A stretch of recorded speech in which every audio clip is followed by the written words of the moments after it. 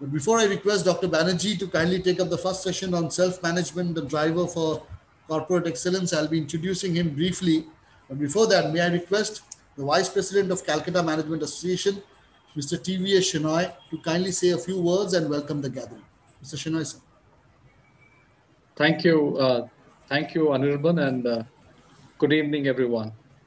Uh, just a quick check if I can, if I'm audible. Talk yes, sir. Now you are audible, Vince. Thank you. I, I think you needed a little nice warm up connection, Anirban. And uh, yes, uh, Dr. Dr. Banerjee uh, from EILN, thank you very much for organizing this session.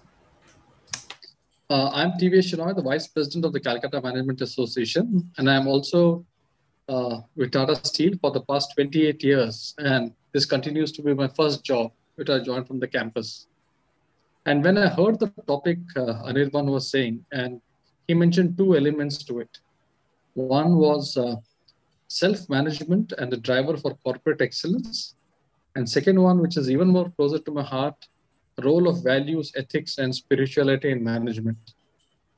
And when you look back at the last one year and look at the pandemic, what has, when it started off and where we ended, none of us could have ever imagined our lives would have been touched so much and so vastly differently from what we started off March of 2019, uh, 2020.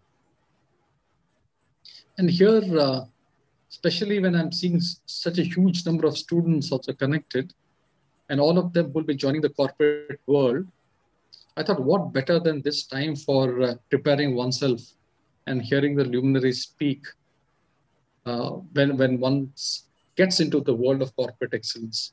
Incidentally, we had last evening the annual awards function of the Calcutta Management Association of, of Excellence.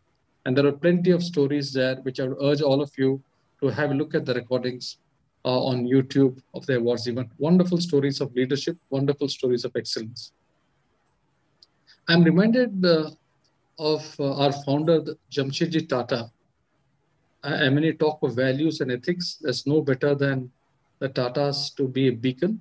And he said maybe a century ago, in a free enterprise, the community is not just another stakeholder, but in fact, the very purpose of its existence. When you have something like this as a North Star or a values, it percolates down to each of the employees and perhaps to each of the stakeholders as well. But what does it mean for us? Uh, for what does it mean for us as individuals who are perhaps in the in the, in the college and undergrad students and now stepping into the corporate world i would say there are two key things. Values and ethics don't erode with time. They're your north star and they'll continue to be a north star till you go to your grave. And it is what that you have with you as a values will carry you through in a corporate world. And let me tell you a beautiful story of a young officer who had joined me and my team maybe around 10 years ago and what is the kind of value she, she stood for. And all of you who are going to join the corporate world, it's not something rocket science, but small little anecdotes like this, which will help you to grow in the corporate, uh, in your career ahead. It's like this. When Aditi was, she's a young 23 year old officer from the campus from one of the MBA colleges and she had been assigned a sales task. She had been told, okay, I need this sales report by the end of tomorrow at 8 p.m. And believe me, Aditi would have ensured she would have sent the report to me at 7.30 p.m. You're adding a little of credit balance in Aditi's bank balance. After a few days, you ask Aditi, well, I need this report as well as the sales target plan for the month and I need it by day after tomorrow. Aditi does it by tomorrow and she also ensures the sales target are met by day after tomorrow. You add a little more of bank balance, the credit bank balance in, in Aditi's bank account. Small, small incidences, small, small commitments to promises will only enhance one's values. So are you the Aditi in your heart or when you step into the corporate world? Small promises and small steps make up to a big castle and they say You can build castles in the air, but always build foundations under them. So when what is it relevant in today's world? When we step into the corporate world, and when you look at various people and uh, the various challenges one faced the, with colleagues, with bosses, with customers, are you clear what you stand out for? Are you clear what your North Star is? And hence my suggestion to each one of you, what is the value that you stand for? If you're able to get your North Star right at the beginning of the career, have some great counsel, I think it'll be a wonderful step for you in the corporate world. Hence, very clearly, the role of values is something which is fundamental to growing and growing successfully in the corporate world. And I've seen it time and time again. Brilliant youngsters who can go by the wayside, brilliant youngsters who go to the top because they stand for certain value and live by it. Well, when you're doing such a world, when you're all stepping into such a world, there are three things which I would suggest you all need to look out for. First, find a mentor at work. And as you see today, you have Mr. Rao from L&T, you have Mr. Judhajit Das from ICICI Pru Life, you have Pallavi from HRBP. Of course, you've got uh, Mr. Banerjee from EILM, and I think is a great institute for us for all learnings. And of course, Mr. Dutt uh, from UN. So what does it mean for all of us? From each one of the mentors whom you're going to listen, and in a corporate world or in a student world, find a mentor who can help you take shortcuts. Believe me, a mentor has seen it and has seen it all. You can bounce off your values, your ethical dilemmas, your value dilemmas to with each of them. Find it and find it to somebody whom you can do it. Believe me, it is significant, significant, important uh, advice which will help you tremendously in your life in terms of having shortcuts to success. Find a mentor and go to him unashamedly for your problem. That's one. Second is chase a passion beyond work. Each of us are bogged down in our work so much that we miss the good things in life. Uh, it's great to be hardworking, but even greater to have a passion beyond work. Corporate life or entrepreneur life is ruthless, is not going to be forgiving. And you need pressure walls and to let go your uh, release. And you have a great uh, kind of passion beyond work. I think will get you there. And what does it connect uh, to the session today? Spirituality. I think it is one of the most fabulous topics which I sense could be one of the pressure pressure busters in terms of your corporate world. So we have seen values, how it's important. We have seen ethics, is your North Star. Spirituality, it could be one of your passions beyond work. And all of this mixed together, when done well, can have a great corporate life. And I, and I before I conclude my thought, I just leave with one thought with all of you that it's always great to dream. Always be clear of what your North Star is. Always stand by your values. Don't cow down by your bosses. Unless you have a clear vision and what you stand for, you'll never be able to sit on the fence. And I don't want you all to sit on the fence. You should have an opinion and you should have a value as you get ahead in corporate world. Thank you very much uh, from CMA. Thank you, EILLM, EIILM, uh, Dr. Banerjee. I think it is wonderful partnering with you. And for all the people who have joined in here, I hope you're going to have a great two hours, which will help you to shape your careers and profit the mind. Thank you, and over to you, Dr. Banerjee, uh, for the next session. Uh, before I request Dr. Banerjee to take over, I'll just take this opportunity of introducing Dr. Banerjee to all of you. Though he needs no introduction, I'll be just taking a few words to introduce him. Professor Dr. R.P. Banerjee, with a rich, rich experience of over three and a half decades, Professor Rama Prasad Banerjee perfectly harmonizes academic brilliance with industry expertise. Basically, a professor of finance and ethics, he has taught almost all areas of management, both in context of transnational corporations and domestic organizations. As an international educationist, Professor R.P. Banerjee has been focusing on the Indian spiritual values and spreading the fundamental message of Vedic civilization. He has focused on certain noble values like integrity, serenity, honesty, truthfulness, cooperation, sacrifice, etc., for manpower management and managing enterprises in the business, social, and global context. He has delivered lectures on invitations at numerous universities abroad, including Pennsylvania State University, Texas University, Austin, Texas Women's University, Texas University, Dallas, Tarleton State University, University of Tennessee, University of Kansas, Arlington State University, University of Hamburg, Stockholm University, Northwestern University, Mingdao University of Taiwan, and Pathum, Pathumthani University of Thailand, amongst others. He has worked as senior executive for over a de decade in the industry and taught various areas in management in leading Indian and international organizations, including Indian Institute of Management, Calcutta. He was a member of the Committee of Induction Program, Ministry of HRD, Government of India. He was also the Vice President at Large International Association of Accounting, Education and Research, USA. He holds a PhD in management from Calcutta University and has do done his postdoctoral research at Stockholm University. His publications include more than 200 articles in prestigious national and international journals. He has authored nine books and co-authored close to a dozen books, the latest of them being a Sage publication entitled Art and Science of Management in the Digital Era. Few of his acclaimed awards, uh, the acclaimed awards of Professor Banerjee are as follows. Education Leadership from BBC World News, February 2017. CSR Excellent Chairman of Leading Institute of India, conferred by the Competition Success Review in May 20, 2020. National Education Awards 2018 by ABP News in July.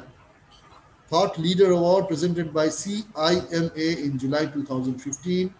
Dr. Sarvepalli Radhakrishna Award uh, in 2012. These are only a few of the awards that he has received. So we would not take any more, more time of yours and I would request Dr. R.P. Banerjee to kindly take over and take us through the first session on self-management, the driver for corporate excellence. Sir, it's up to you, sir. Thank you, Mr. Anirban, and uh, thank you, Mr. Shenoy. Good evening to everybody. And uh, I, at the outset, I would like to profusely thank Calcutta Management Association to have agreed to this, uh, you know, uh, point of uh, having a session on the self-management, concept of self-management and spirituality at workplace.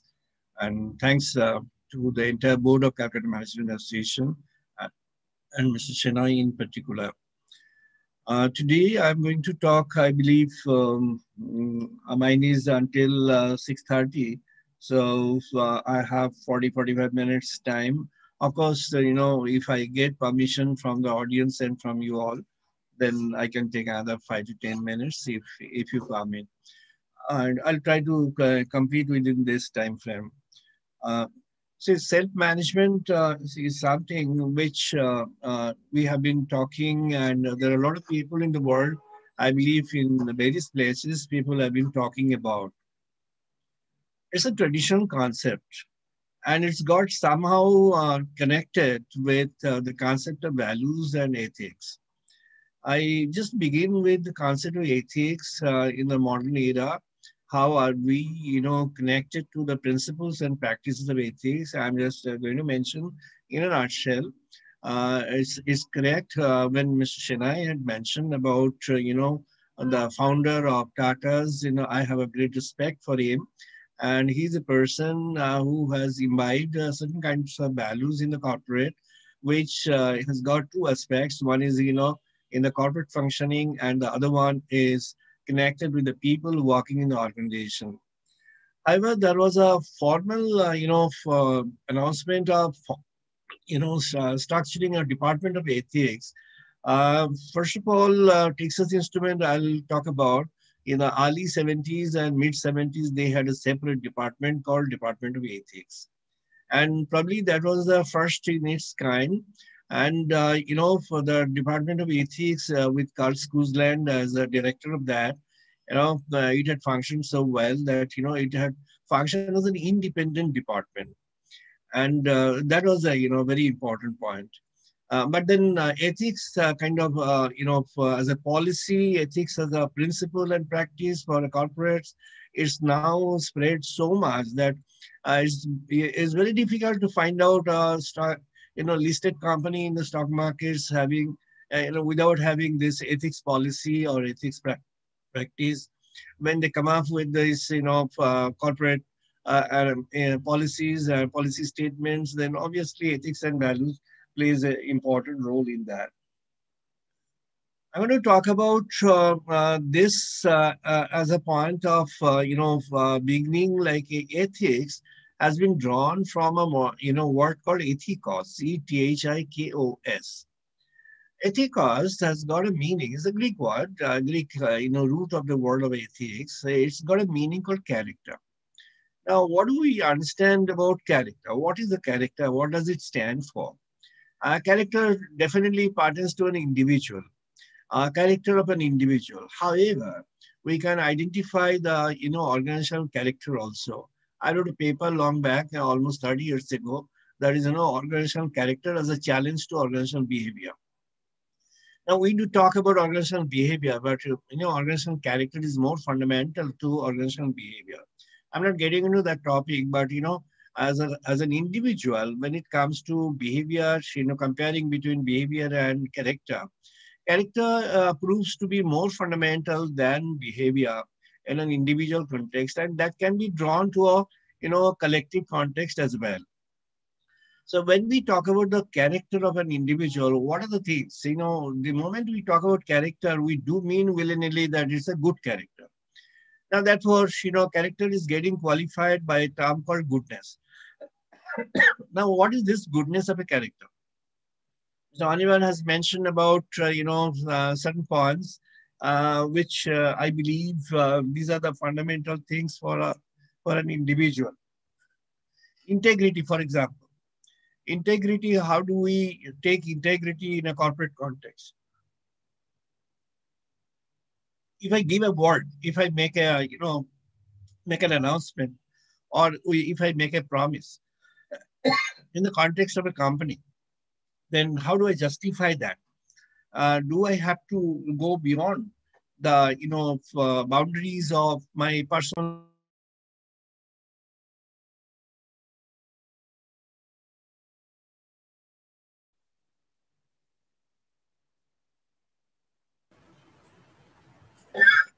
Sorry, it got muted. That's why I have made it unmute again. Yeah, when I uh, when I'm at the boundary of my personal limits, then uh, probably I have to find out what are the things uh, where I am actually stuck up with. The promise that I make to the world and the promise that I make to myself, whether these two are different or not. I'm at a point that you know the what the mind says the mouth should speak the same thing. The, you know, the words that you utter and the things that you think about, there should be a concurrence between. If there is a gap between, then the person becomes a hypocrite. There shouldn't be any gap between. The mind and mouth, meaning the synchronization between the mind and mouth. So, you know, how does it come? It's the fundamental of a person. It comes from within. It comes from your inner understanding, understanding of the inner world. So, you know, for, there is something, uh, let us assume that there is something called inner world. And of course, we have an external world. If I am interiorized, meaning if I am oriented to the inner world, then I find out, you know, the realities therein. On the other hand, when I am oriented to the external world, I get the things through my sense organs and multiplied formations of the sense organs, which the technology and other instruments, gadgets can help me for.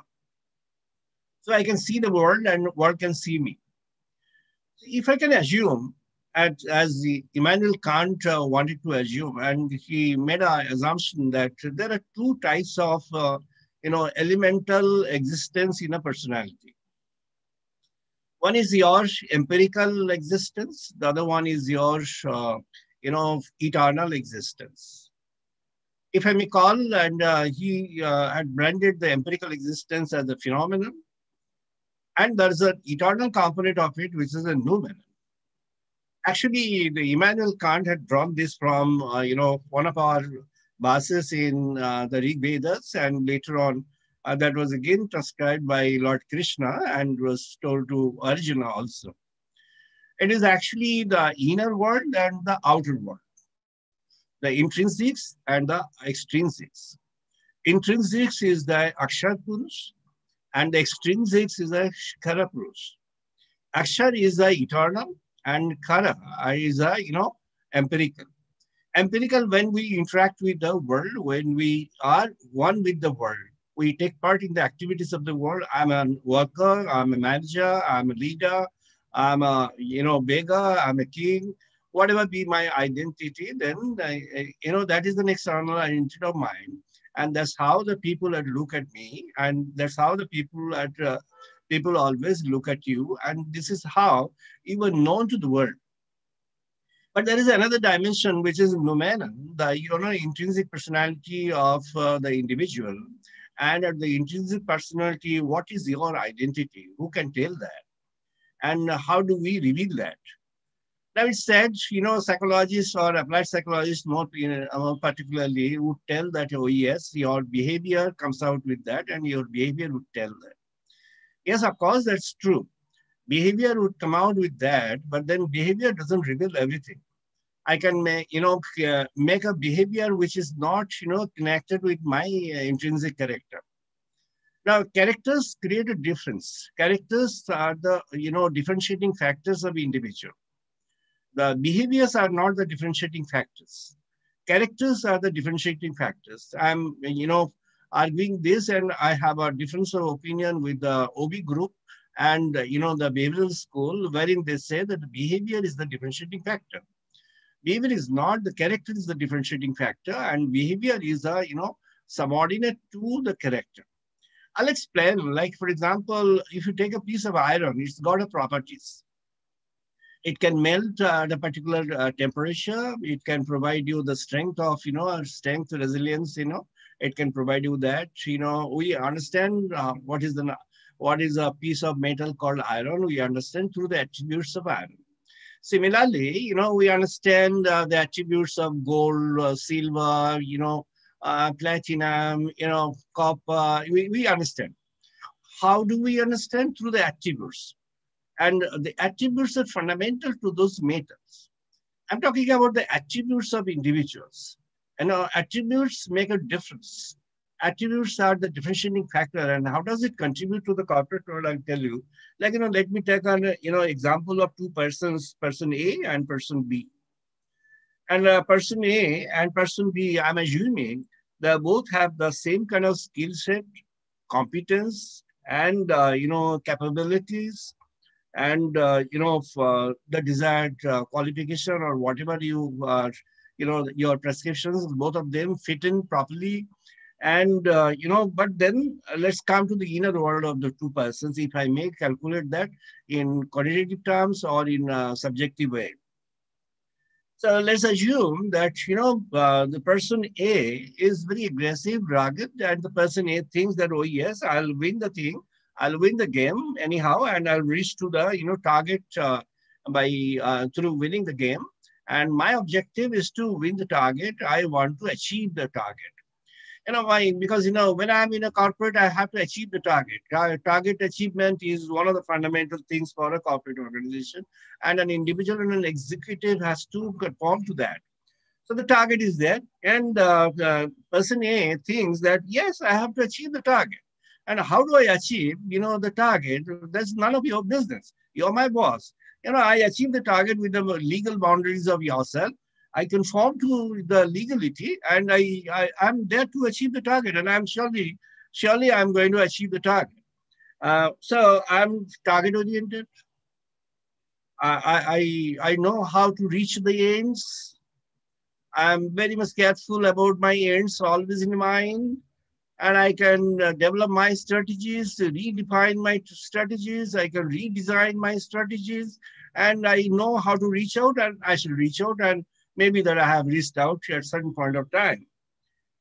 There is another person, person B, with the same level of competence and, uh, you know, for, uh, this uh, mm, uh, all the skill sets present in person B are docile, uh, you know, for person, a person who is submissive, but then person knows that, you know, this is my target, but person thinks, yes, this is a straight way to reach the target, which is easier for me to, you know, reach the target by, and in the process, if I, I tell some lies, if I give some wrong inputs to some other people and then reach my target, you know, for, I can do that.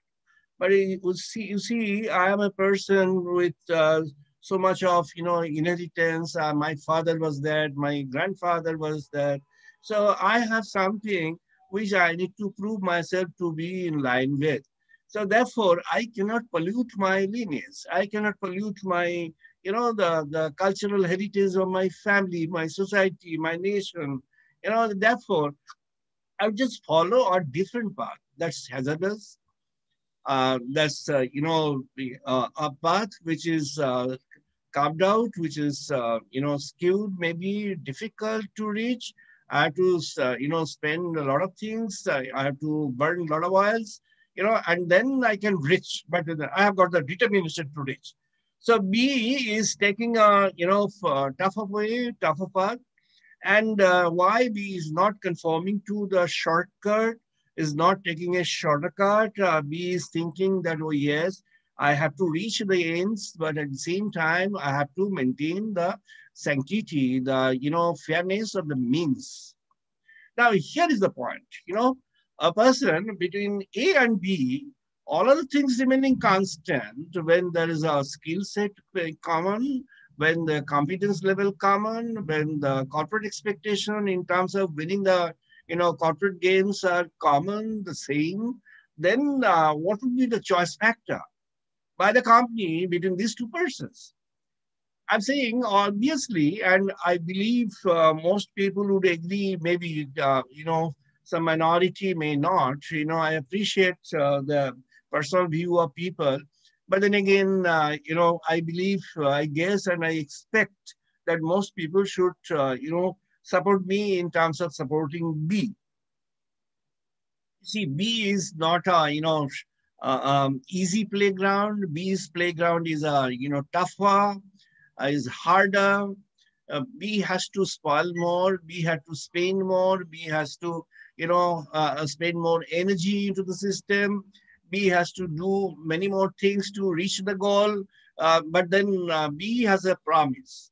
What is that promise? B thinks that, oh yes, whenever I'm after uh, work, after a kind of thing, whenever I'm after something, whenever I'm after, you know, a target, I to fulfill the target, but without spoiling the fairness of doing the thing, without bending the fairness of doing the thing here comes the question of spirit of doing the work, and the spirit is the root word to spirituality.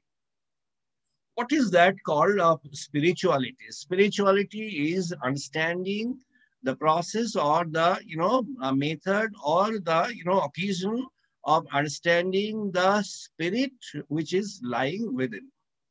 Now this uh, now I come back to Immanuel Kant of his phenomenon and noumenon. And the phenomenon and noumenon, Lord Krishna has uh, mentioned to Arjuna that you see, it was mentioned, first of all, in the Kathopanishad, uh, wherein uh, there was a young person of 10 years old, 10 years is, and uh, he had a conversation with the god of death. And during the conversation, he wanted to learn the, you know, intrinsic identity of the self. And through that conversation, uh, he was, uh, you know, revealed the fact, which was again repeated by Lord Krishna to Arjuna, that Atmana Rathinam Vidhi Shariram Ratham tu Buddhi tu Sarati Vidhi Manaham Pragraham Evachaha. I mentioned this in Sanskrit original. Uh, the meaning of this is you consider that this human body is like a chariot. And this chariot is uh, getting driven forward, backward, whatever. This chariot is getting driven by the human intellect. But again, uh, willy-nilly, we tend to forget the fact that there is an intrinsic personality sitting within called Atman, and that's the supreme self, and which is present within you, and it's always present within every person, every individual, every living entity on earth. And uh, you know that uh, you know supreme entity in the form of Atman doesn't reveal itself uh, always or in most of the cases unless uh, you know, you are after you seek uh, his intervention in your life. So when I seek the intervention, it's like a chariot is there. I'm driving my my intellect is driving the chariot, and uh, it says manaha pragraham yocha mind. Mind is the connecting cord. Is the connecting cord between what the horses are, you know, pulling the chariot. The horses are your, you know, the energy, the the vital uh, energy, the vital force that you have put into place and the vital force is driving your chariot of life forward. But then the instruction and the direction, the speed, the control, everything is in the hand of the, you know, the connecting cord, the mind. And its mind is getting it, uh, you know, connected with the intellect.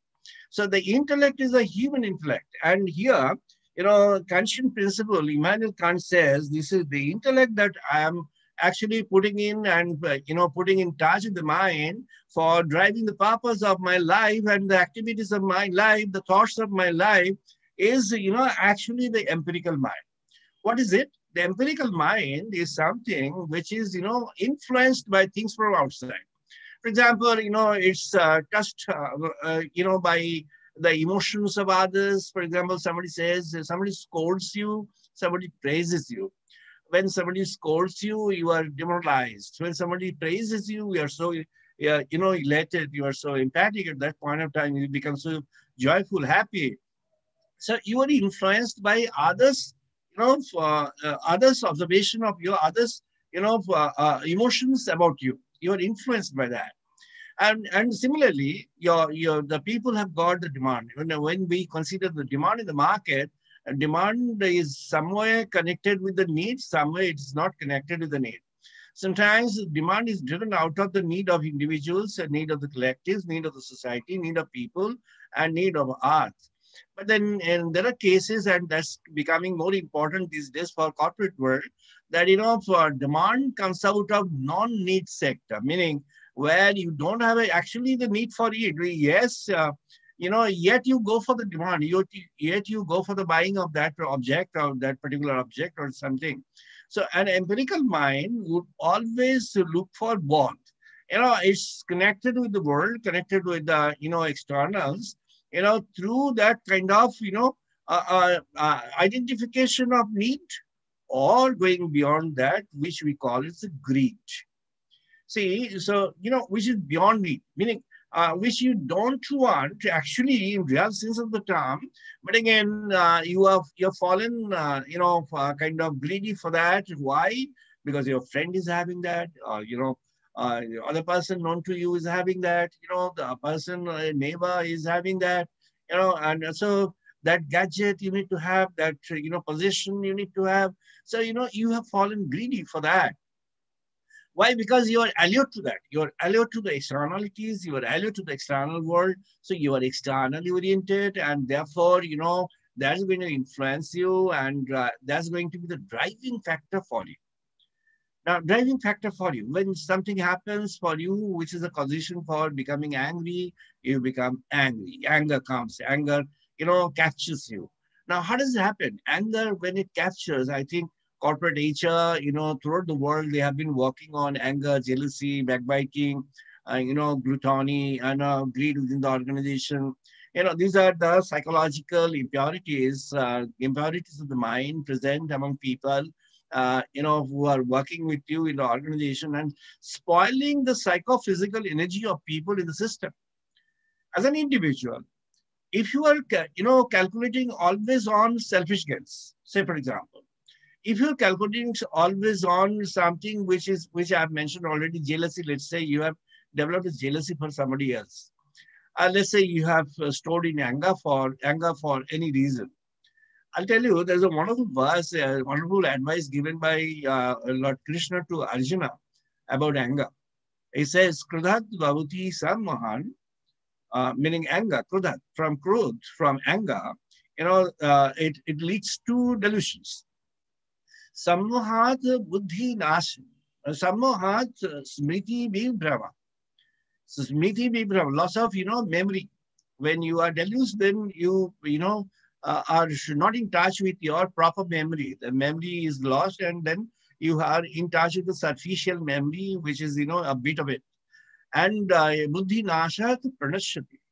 You know, uh, uh, then when there's a, you know, uh, loss of memory, then your intellect is lost. And then when the intellect is lost, then it brings in disaster for you. You know, so when you have uh, entertained anger, so you have entertained anger, therefore you are actually entertaining your own destruction, your own ridding of, uh, you know, ridding yourself, killing your purpose, killing your, you know, potentials by being angry. But then anger has got an external cause. Why are you becoming angry? Why are you not in a position to absorb the threats from outside, shocks from outside? Because I've not learned how to absorb. You know, how to learn? I'll tell you that, you know, uh, type A and type B, I've already mentioned, both are, you know, competent enough. Uh, if I may call type A as a Ravana and type B as a Rama. Now, type B is Rama, is a quality. See, Ravana was no less a warrior than uh, Rama, almost the same, neck to neck. You know, but then uh, Ravana did not have the qualities which are worthy of a good person, a fair person. He was greedy about things uh, of uh, somebody else's position, or you know, uh, he was greedy about things of the world, greedy about things, beauties of the world, and then he was he had he was a covetous person. But then Rama, he was fighting for the righteousness and for a cause. He was fighting for a cause, having the same. So the difference is that he's a B type. When it comes to the B type, meaning you achieve the target but you maintain the fairness of achieving the target. And uh, the moment you are maintaining the fairness of achieving the target, target, then you are doing two things. You are achieving the target on one hand, benefiting the organization and uh, helping the organization out to stand up on its own values and ethos.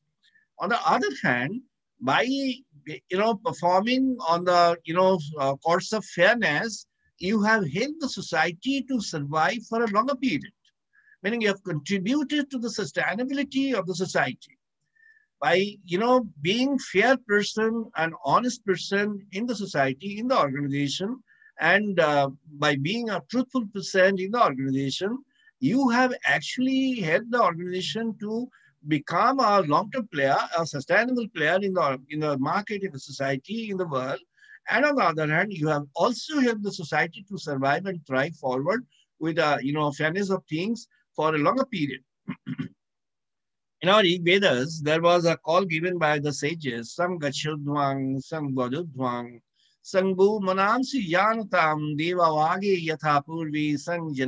Upasate. Meaning, it's a call for the collective. Now, what is a collective? Collective, you know, is a, a group of people for a purpose or purposeless. You know, let's say society. The society, there is a societal purpose an organization, there is the organizational purpose. So here you have a purpose. There could be uh, some place where there is no purpose. Also, there is a group of people. And of the group of people, what are the commonalities? How do you understand that you are not quite different? You are not different from others. You are the same. Because, you know, why are you the same? Because, you know, you carry the same intrinsics than others. The internal, what Immanuel Kant had mentioned and what you know, uh, a lot of death told to, you know, Nachiketa and Lord Krishna had mentioned to Arjuna, uh, the intrinsic factor, the supreme seated within as a man is the same everywhere. So therefore you can't differentiate. There cannot be any discrimination on caste, creed, religion, or any other factor. No discrimination. Everybody is your your your team. Everybody is your friend. Everybody is your you know is, is a close person. Therefore, what can you think of? You can think of Sarve Bhavantu Sukhinaha, Sarve Santu Niramayaha. So you are not thinking of yourself. You are thinking of everybody. Now, a good mental would do what? Would think in terms of others. Swami Vivekananda mentioned, not me, but thou first. Meaning you first. When in my design of things, you come first, then I'm a person of the society, I'm a person of the world. And uh, when me, I come first, then I'm a selfish guy. I'm a selfish person. So what do I understand? I understand my gains. So whatever I do within the organization, I will, I'll always try to find out my selfish gain. Willy-nilly here and there, I'll try to do some cliques here. You know, organizational cliques do develop because of that. Informal groupism and trying to subvert, trying to, you know, uh, disturb the organizational process, and squeeze money, squeeze things from there, squeeze benefits from there. And, you know, so selfish considerations and selfish gains become very important for a person with the A type. And the person with the B type understands that there is a world within. I need to manage myself. I have a world within. And in that world within, I am the master. I am the king. I'm the king. Rabindranath Tagore had mentioned Amra Savai Raja Bashkori Ei Raja Rajotte in Bengal. The meaning is we all are the kings and we live in the kingdom of this king. You are the king of yourself. That is your zone of discretion. Within yourself, there is nobody, nobody from outside who can rule you in that. So you are the ruler, you are the king. And what is that? Your mind. Say, for example, if I'm connected in a program, if I'm in a class as a student, my mind is expected to be in the class with the proceedings of the class and remain in that, and it's not expected to go away. But again, a diffused mind does what? A diffused mind is not, you know, restrained there. It's not, uh, you know, confined in that place. Uh, there's a wonderful, you know, uh, uh, similar, there's a wonderful uh, example given of human mind, it said, is again given in one of our Upanishads, it said the mind is like a monkey which is restless. Human mind. I'm talking about mind of every person. I'm including myself in that. Please don't mind that I'm not, you know, telling anybody else than me that whose mind is a monkey mind. Everybody's mind is that. And you see, that means restless. Mind is restless by nature, human mind and uh, assume that the human mind is beaten by a scorpion. And a scorpion bites that mind. A scorpion, assume that scorpion to be there and it bites that same, you know, monkey and mind is like that. Meaning it becomes, you know, violent. And the mind becomes violent. What? You know, when I'm aspiring something for my selfish gain. Uh, maybe, you know, I develop, I nurture jealousy and anger in that. And, you know, with that, you know, my mind becomes so violent and, you know, inside so I spoil myself. When I'm into work, my total mind is not into the work.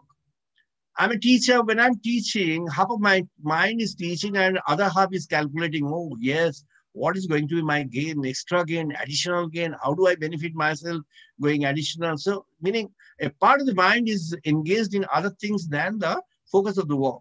When I'm into a company, in a company's work, you know, half of my mind or a part of my mind is given to the company, remaining part is taken for other selfish considerations. So what am I doing? I'm actually betraying the cause and purpose of the organization. I'm actually cheating the, you know, by, you know, the organization. I'm actually cheating the society. I'm cheating the world.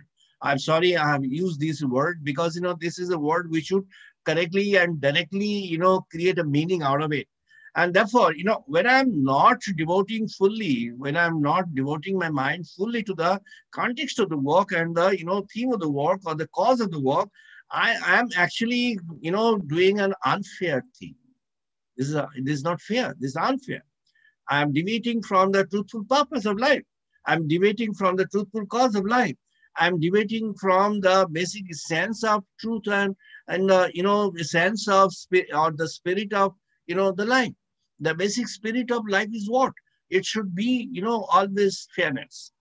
Let us have a fairness and goodness, goodness and fairness for everybody, but goodness of fairness of everybody is, you know, possible by those who can understand the inner world first. Now, uh, I'll, I'll take an example. I'll take a, you know, mm, a reference from Waste Land of T.S. Eliot. T.S. Eliot is mentioning that, you know, uh, when I'm climbing the hill, I count that you and me, we are only two persons. But again, every time I find there is a third. A third is there, you know, who is that third?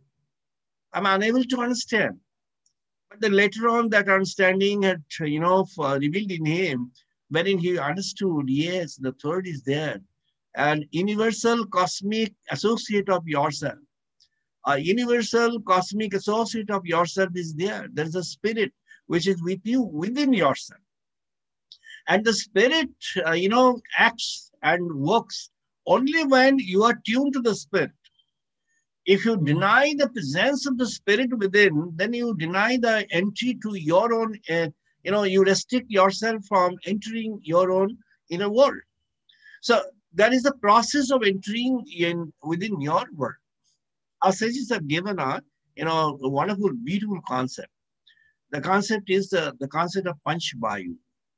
The concept of Panch Vayu, is five different uh, identities of the air.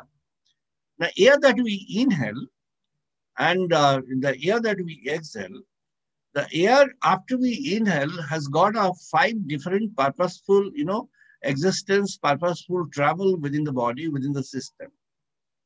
Prana Vayu, like, you know, the Prana Vayu, Prana, Apana, Samana, Vyana, Udana. There's five different aspects of the air. Now, what are those? Because, you know, when I'm inhaling air from outside, I'm expecting a fresh, good air with full of oxygen, but I don't get that. I get a mix of it. And the mix comes within. So there should be some mechanism within which would screen out it and which would uh, get, uh, you know, oxygen out of it for our purposeful utilization. The goodness has to be extracted from that. So the goodness is extracted and absorbed in your process. That is the classification. Since it's not a demonstration session, I'm not getting into the detailed analysis. However, this is available and uh, anybody can track through. So this Panch Vayu, what it's doing is actually taking out the goodness in different forms for different organs of human system. And uh, the, you know, after, you know, you're taking out the goodness uh, from that composite air, the one that you are getting throwing away, throwing out, is actually required by others in the system, others in the cosmic system. In the, you know, for example, plants, heart trees, they need that. So you see, it's a balance that the cosmic system has got. Unless we take care of the balance, we actually destroy or we actually dismantle the, you know, the balance within the cosmic system. So therefore, the concept of goodness is there everywhere present in this cosmic system. We need to, we as an individual, you and me as an individual, we need to take care of that. I've mentioned about the Rigvedic concept of Sang Gachudvang, Sang Badudvang, Sang Bo Manamsi Janatam. Meaning, let's all have, you know, the unity of purpose. Let's all collect together, combine together, and have the same kind of uh, destination and goal of fairness and goodness.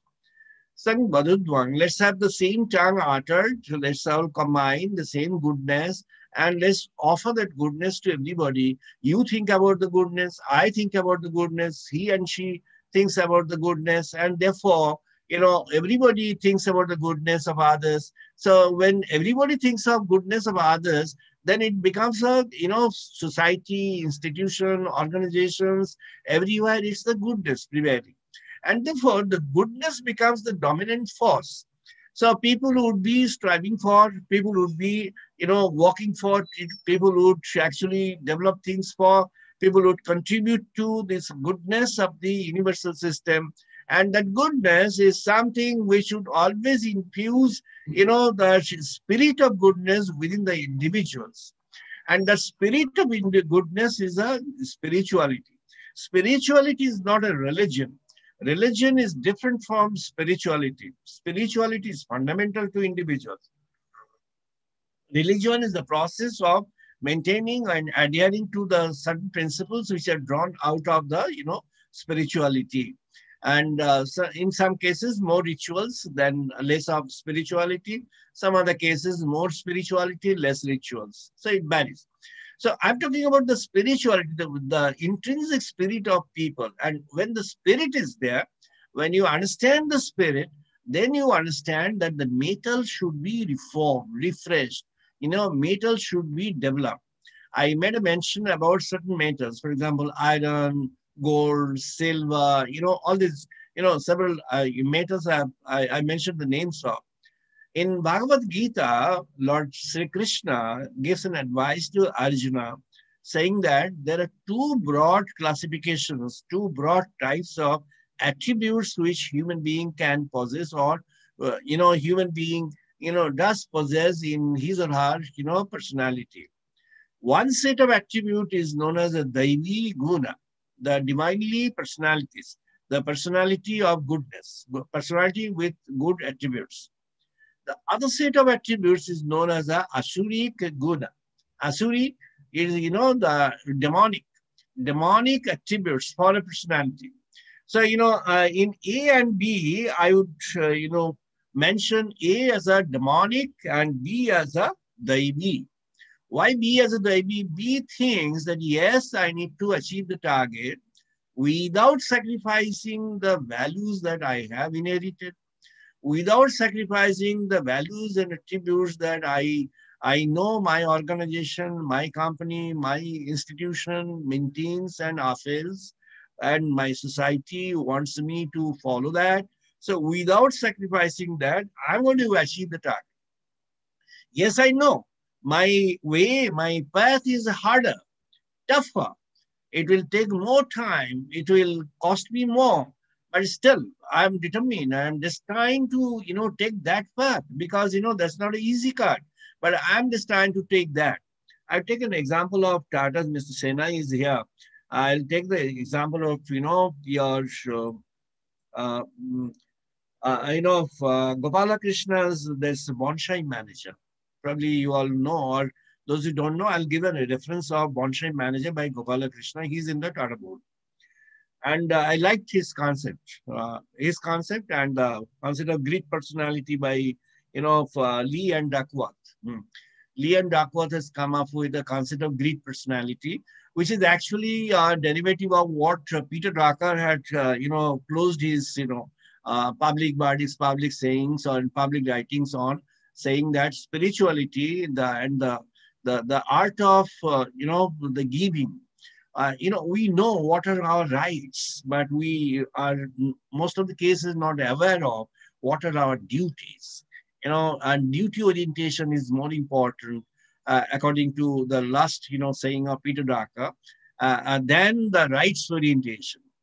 As an employee, the rights I know. As a, you know, lady, the rights I know. As a, you know, young person, the rights I know. As a young man, as a son, the right I know. As a father, the right I know. As a, you know, individual, as a citizen, the citizen's right I know. And people are out there on streets and in groups to exercise the rights. The trade unions are there, different associations are there, different organizations are there, different, you know, social sites are there. There are a lot of, you know, activities and initiatives on the rights. Hardly there are some, there are, you know, uh, some on the duties. What are our duties? If our teacher doesn't do his or her duty properly, then can we expect the rights of a student getting fulfilled? My answer to this question, which I have raised to myself, is, you know, uh, I can't. If I have to fulfill my, you know, if I have to satisfy the rights of my students, then I have to go beyond my rights and, you know, do my duties. So then what would be my priority? As a teacher, my priority should be my duty, not my right my duty should come first. Duty is what? Uh, we mentioned in EIILM Kolkata, we mentioned, you know, for a philosophical statement, Chatra Sukhe Sukham Shikshakaha, Chatra Nam tu Hite Hita. The meaning of this, uh, a, a teacher, should draw the happiness and, uh, you know, should feel, uh, you know, well after the happiness and well-being is conferred to the student. After a student has assumed and has understood and has realized and has experienced the happiness and well-being, then only the teacher, you know, gets the, you know, happiness and well-being uh, you know, uh, in his or her home life. And if that is the attitude, when this is the attitude of a person, then the person is actually after the duties, not the, you know, uh, uh, uh, rights. Yes, the rights are essential, but the duty first, right next. As a young person, what is our duty? We need to identify. We need to identify what are our duties. Our sages have said that there is you are indebted. Pancharin is there. Devarin, Rishirin, Redin. You have got a, you know, Devarin, cosmic sources, you have got a, you know, indebtedness. You are indebted to these cosmic sources, the light, the air, the water. You can't just, you know, destroy this thing. You cannot just destroy the environment. You cannot destroy the ecology. You, if you are doing some, anything harmful, then you try to replenish. You try to give back. So giving back, you know, that should come out. That should be your autonomous response from yourself. When does it come? The moment uh, the person has understood the real spirit within them, this awareness comes automatically. You don't have to campaign. There's an auto response of the person, and the person feels I've taken so much from this art system. I need to give back. I'm taking so much from my society. I need to give back. I'm taking so much from my organization. I need to contribute back. I have taken so much from my you know family. I need to give back. I have taken so much from my known people. I need to give back. So this, you know, giving. Giving as a principle is generated only when the spirit is actually unfolded, unfolded within. This is a kind of unfoldment. I, I call it like an, an example, you know, we, uh, you know, uh, occasionally give that in the morning lotus, which is there, you know, it's covered with the green covers. And the moment the sun rises in the east, the, with the solar rays touching upon the, you know, surface of the green cover, it opens up, it unfolds. The unfoldment does, you know, the person's, every individual human being has got immense, you know, immense potential. Every young person, every person on earth has got immense potential you know, it's not dependent factor of, uh, you know, it's not connected in any way with your marks, your results, your, you know, achievements so far, your standard in society, your economic standard, your lineage is not connected with anything. It's you. It's an individual. It's an individual which has got the prospect and the potential which is enormous, infinite, and that's what is the unfoldment when there is a touch of sun rays. This, uh, you know, the, uh, the, the lotus starts opening up and gradually you find the petals, you find a beautiful flower. And the beautiful flower, William Shakespeare says, I'm a flower, I want to become a flower in one of his sonnets. You know, it says that I want to become a flower, you know, what, what do I do? I want to give. What do I give? I have got a fragrance, I have got a beauty. I don't want to absorb my fragrance. I don't want to, you know, experience my beauty. My fragrance is for the world. My beauty is for the world.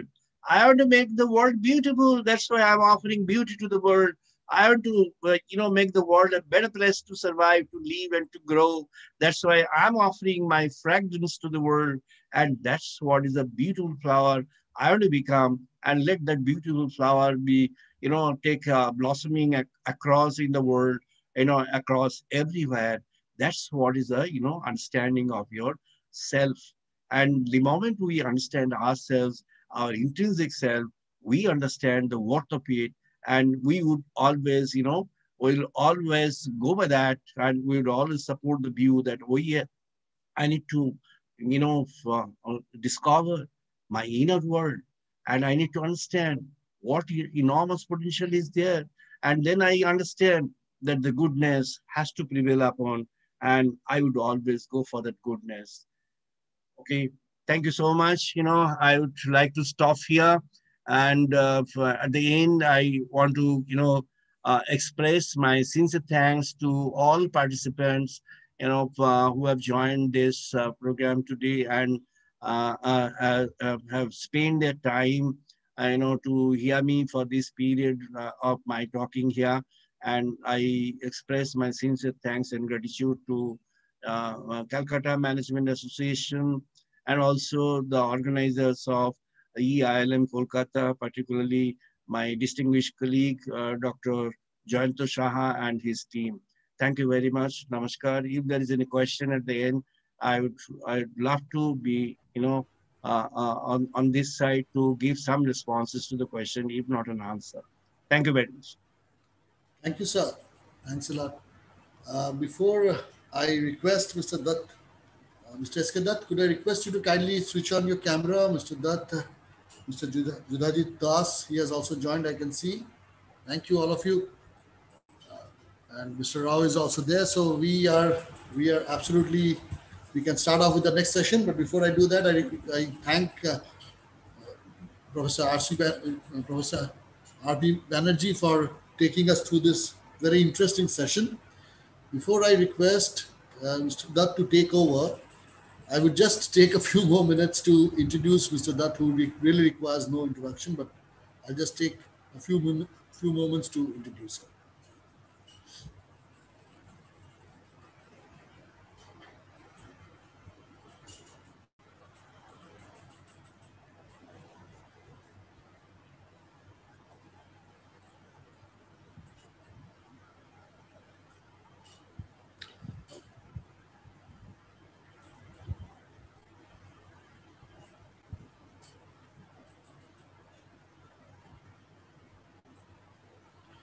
Mr. S.K. Dutt is a senior business administration, HR, organization development, and change management professional and a qualified coach and a mentor. A postgraduate alumnus of the Oxford, University of Oxford Said Business School, Mr. Dutt has over three and a half decades of industry experience, out of which he has worked as the head or group head HR for over two and a half decades.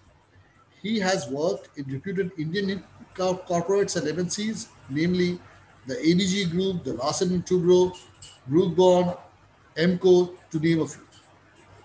With experience and expertise in all domains of HR, including organization strategy and strategic HR, organization development, and change management.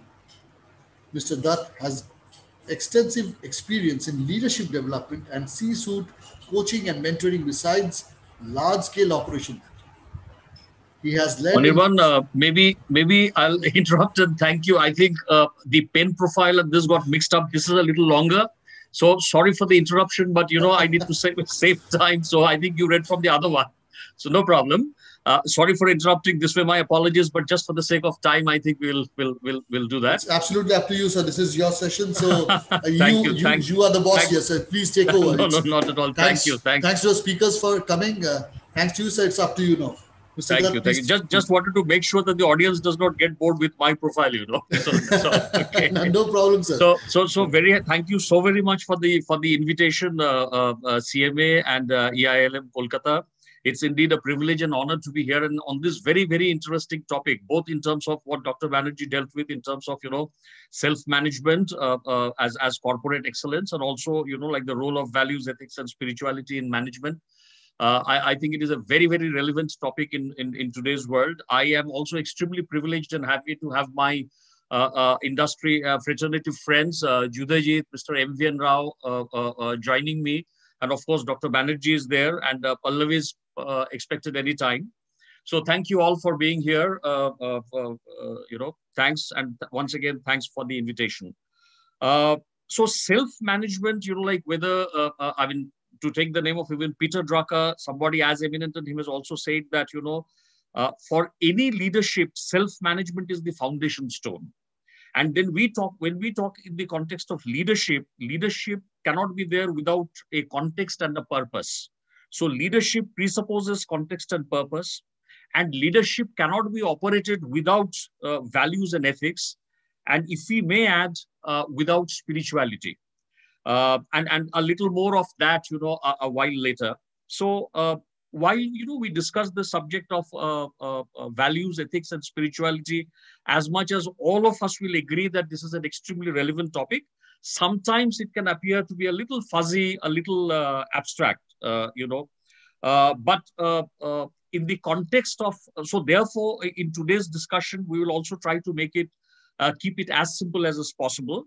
Uh, with, with examples, with examples that we can relate, with examples of what we individually believe in, with examples of what is the ro- what could be the roles uh, as individuals, as professionals, and also in the organizational context. Uh, and and and uh, uh, so so to that extent, we will keep it simple and and we'll keep it uh, something that you can relate to. Uh, it is also very pertinent to note, and, uh, and I couldn't help but also mention this now yesterday in the context of the judgment, and we are not going into the uh, the merits or what is the case, but I couldn't but uh, you know sort of uh, think of quoting uh, uh, Mr. Ratan Tata in the context of uh, the Supreme Court judgment, and when he wrote on that, you know, so he said that it is not winning and losing more important than winning and losing, and I quote him the judgment upholding all the appeals of Tata Sons is a validation of the values and ethics that have always been the guiding principles of the group. So what struck me was, and of course today we were supposed to deal with this particular thing, that even you know a group like Tata, as large a group like Tata, and they are known for their values and ethics as much as several other Indian corporates are. So it is an iteration of the subject that we are dealing with, and that he chose to mention this even in the you know, in the in the context of such a huge win for his group, uh, a validation from the from the Supreme Court. And as I said, we are not getting into that side of what was the issue. I am more, uh, you know, focusing on the fact that he chose to highlight this. Before I uh, uh, hand over to uh, uh, my esteemed panelists, I wanted to also mention because spirituality can be, you know, it is important that we set the context of spirituality. And I was also, you know, like honestly uh, looking up at some definitions in terms of what could be the best definition that perhaps could, you know, uh, suit our context of discussion today without limiting the speakers in any way by that definition. So one simple definition which I liked was workplace, and I, I'm, I'm reading it out. Workplace spirituality is a framework of organizational values, and values comes here, evinced in the culture that promote employees' experience of transcendence through the work process, facilitating their sense of being connected to the other in a way that provides feeling of completeness and joy. So I like every word of this, you know, it, it covers the spirituality framework covers values, it covers culture, it promotes employee experience of transcendence through work processes, facilitating their sense of being connected to other each other in a way that provides the feeling of completeness and joy. So I think that is a good context for us to, you know, start the discussion. Uh, I can see Pallavi. So Pallavi, welcome. Uh, good evening. Uh, and uh, I'll, I'll just uh, quickly uh, read out in no particular order the, the, the short profiles of the speakers, the panelists we have today, even as I invite them to, you know, share their thoughts on the subject. So we have, we of course have Dr. Banerjee and, you know, we, we've, we've heard him uh, for the last uh, hour or so uh, uh speaking on the subject of self-management uh, and in the context of corporate excellence. He is the chairman and director of uh, EIILM Kolkata, and he served as a professor of finance and ethics at the Indian Institute of Management, Calcutta, for close to a decade. An international educationist, he is currently the member of Committee for Higher Education Induction Program, University Grants Commission, uh, and the board member of National Council of Science Museum, Government of India. He holds a PhD in management from Calcutta University and has done his postdoc research at Stockholm University. His publications include more than 200 articles, papers in prestigious national and international journals. He has authored nine books, the latest being a Sage publication entitled Art and Science of Management in the Digital Era. Welcome once again, sir. Uh, I would now read out uh, Judhajit's profile. Uh, of course, it's indeed a pen profile. I mean, his accomplishments are, of course, much larger than what I get to read out here. Uh, Yudhajit is CHRO at ICICI Prudential Life Insurance. He started his career in 1995 after graduating from XLRI and has now been with ICICI Prudential for 20 years. He is currently responsible for HR operations and customer service, admin and infrastructure, IT infrastructure and CSR. Welcome, Judhajit. Uh, I now have uh, Mr. Rao, Mr. MVN Rao. He is the Group Head Human Resources for L&T Hydrocarbon Engineering Limited. He is leading the global HR function to deliver business value. Also, as a member of the executive management team, he drives the leadership and organizational agenda. After post-graduation in human resource management from XLRI, uh, Mr. Rao has led the global HR functions in leading organizations spanning engineering, projects, manufacturing, uh, information technology and pharma industries for more than three decades. with extensive experience in leading global and multicultural teams, top level hiring, organization development, change management, etc. MVN teaches us various management institutions, speaks in leadership programs, internal and external, and other forums like NASSCOM, CII, NHRD, NIPM, TEDx, etc. MVN has great interest in development of leadership, personal effectiveness, team building, and organizational development. His interests lie in enhancing the capacity of performing managers, senior executives to become better and reach greater heights. He has been designated as the uh, coaching guide for CEOs pursuing coaching accreditation with CFI. He's also the president of CFI's Mumbai Pune chapter. Welcome, MVN. Uh, I now have Pallavi Menon's uh, profile. Uh, she's an accomplished professional and an HR practitioner and learner with over 16 years of industry experience in commercial and product development, IT space, skilled in strategic planning and implementation, people management, influencing and negotiation skills with a passion for learning and development currently working in Waters Corporation as Director HR, HRBP for India, Southeast Asia, and ANZ. Pallavi has prior experience in working with organizations like Danaher Corporation, Ricoh, Reliance Communications. She comes with a short stint in sales and marketing as well prior to the career in HR. A certified trainer from IST New Delhi with numerous organizational certificates to name. Pallavi enjoys training and coaching for performance and potential. Welcome, Pallavi. Uh, may I now request uh, MVN to start. And as I said, I'd go random in no particular order. Uh, MVN to maybe set the context and also, you know, uh, share your thoughts in terms of what today's topic means to you and what are some of the things that you are practicing as an individual uh, for your employees and also as an organization. An overview. Thank you.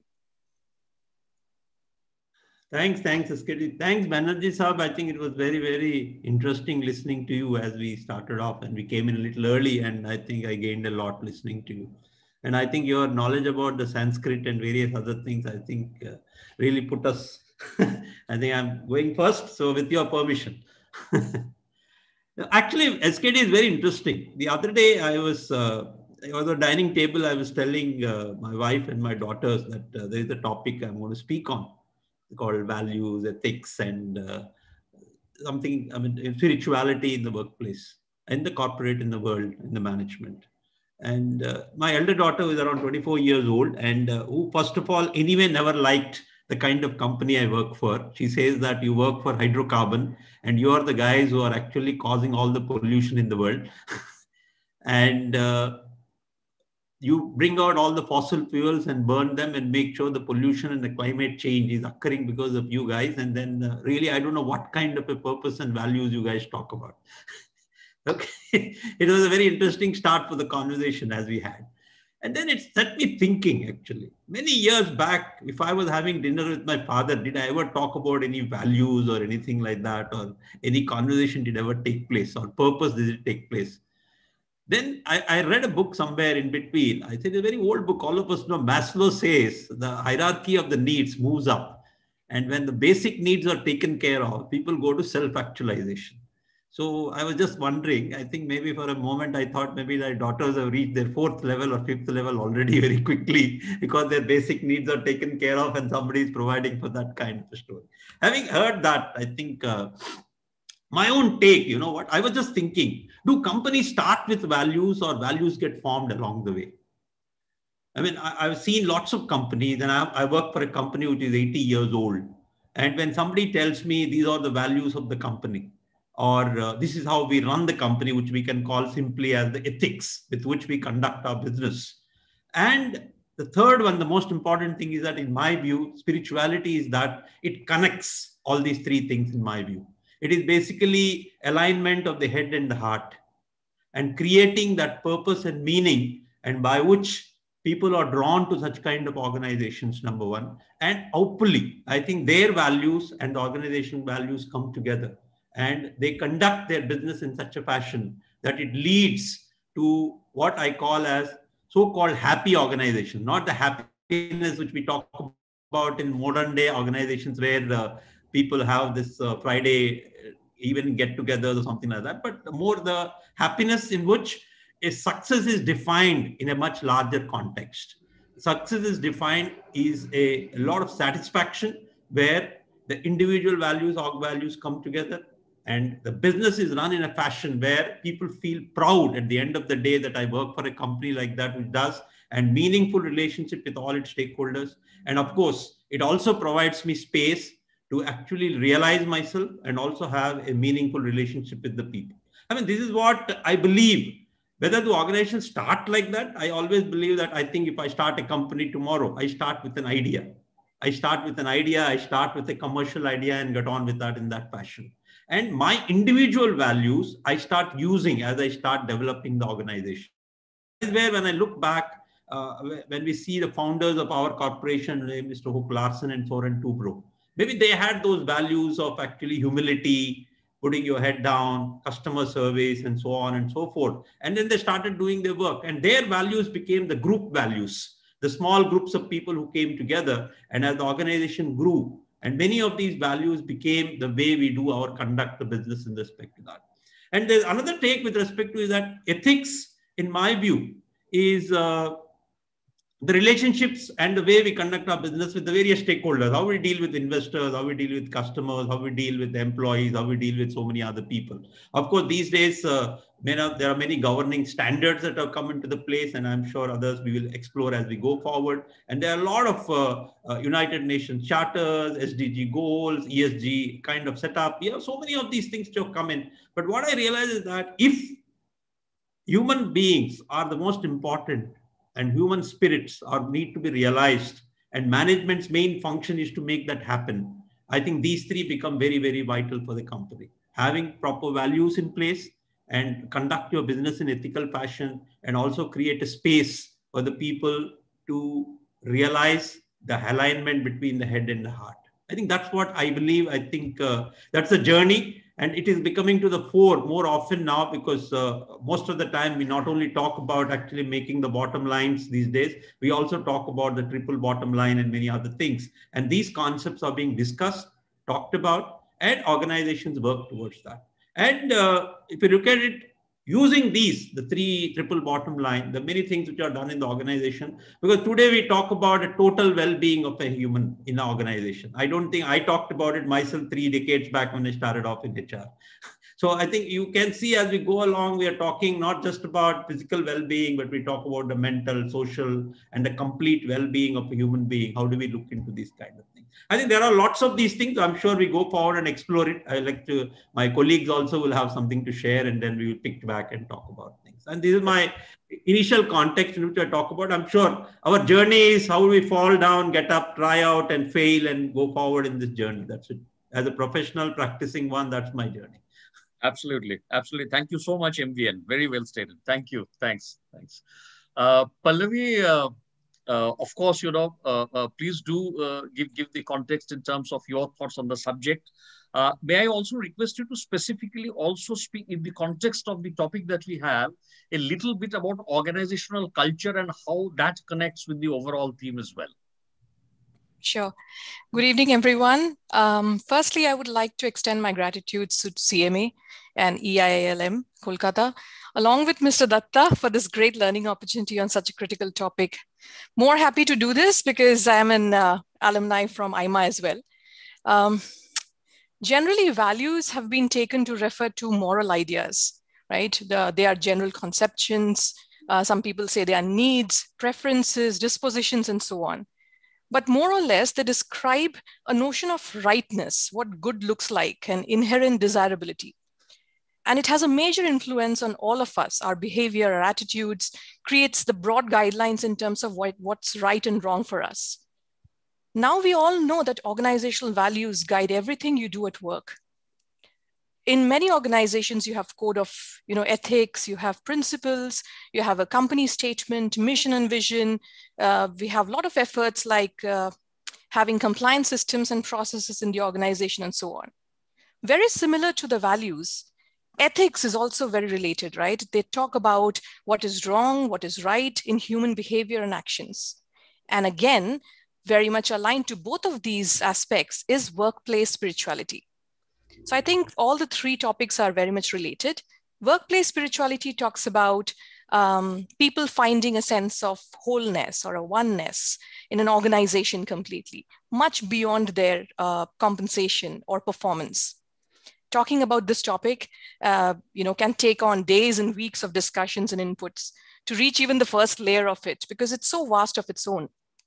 However, um, at least given a chance, I will definitely make an attempt to talk about them um, as an overall concept and also try and link to organization behavior, especially their impact on leadership with some of the examples. Now, um, you know, from the organizational culture piece, which Mr. Datta mentioned now, uh, what I feel is every organization prefers some values over the others. That creates their culture, right? And uh, having a value system and values in management uh, has a lot of benefits.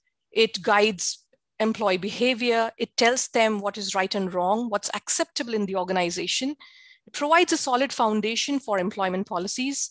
Um, it sets your organization apart from the competitors, reduces the uh, risk of inappropriate behavior, and also has a lot of emphasis on employment value proposition. For example, a college or a university might value, um, let's say, independence or pursuit of knowledge, intellectual rigor as its core value. Whereas a listed telecommunications organization might prefer customer service, network reliability, or profit making as its core values.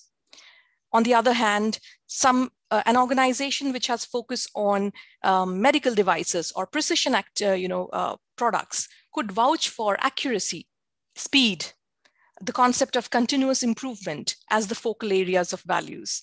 For this reason, um, there is no such thing as one size fits all kind of code of ethics and culture. As an HR practitioner and also from a leader's perspective, it is important to mention here that having a clarity in your values will also help your organization attract the right people. I do focus on all these aspects while hiring a candidate myself the easiest example that I see is that when we sit on uh, looking at the technical suitability or the, you know, uh, business acumen fitment for the candidates, we also look at the cultural fitment to the organization because it sets up mutual expectations for future actions. And I strongly believe that organizational culture and values, they reflect and impact all, I would say, if not most, um, our day-to-day decisions how do your employees interact and work with each other to achieve results?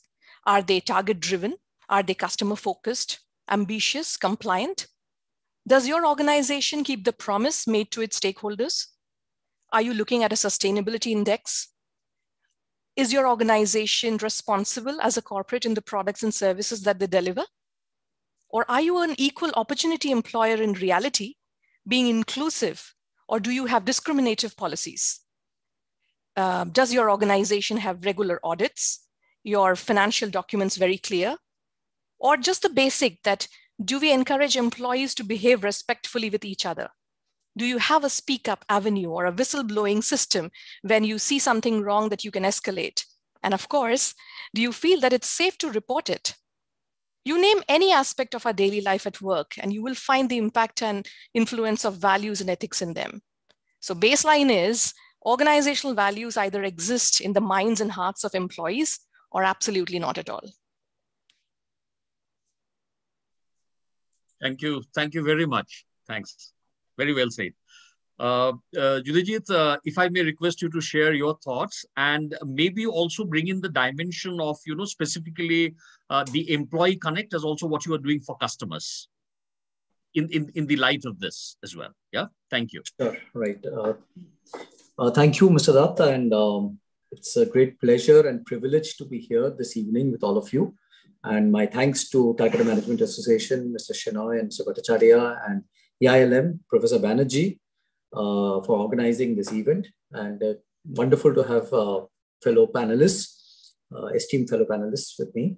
And um, so, what I thought is um, uh, Mr. Rao and Pallavi have shared their take. I think if we take a step back um, and ask the question, I mean, what is the context in which we are living? And I think it's important because we've just gone through a year of upheaval It's been one of those tectonic shifts that have uh, probably nobody ever anticipated.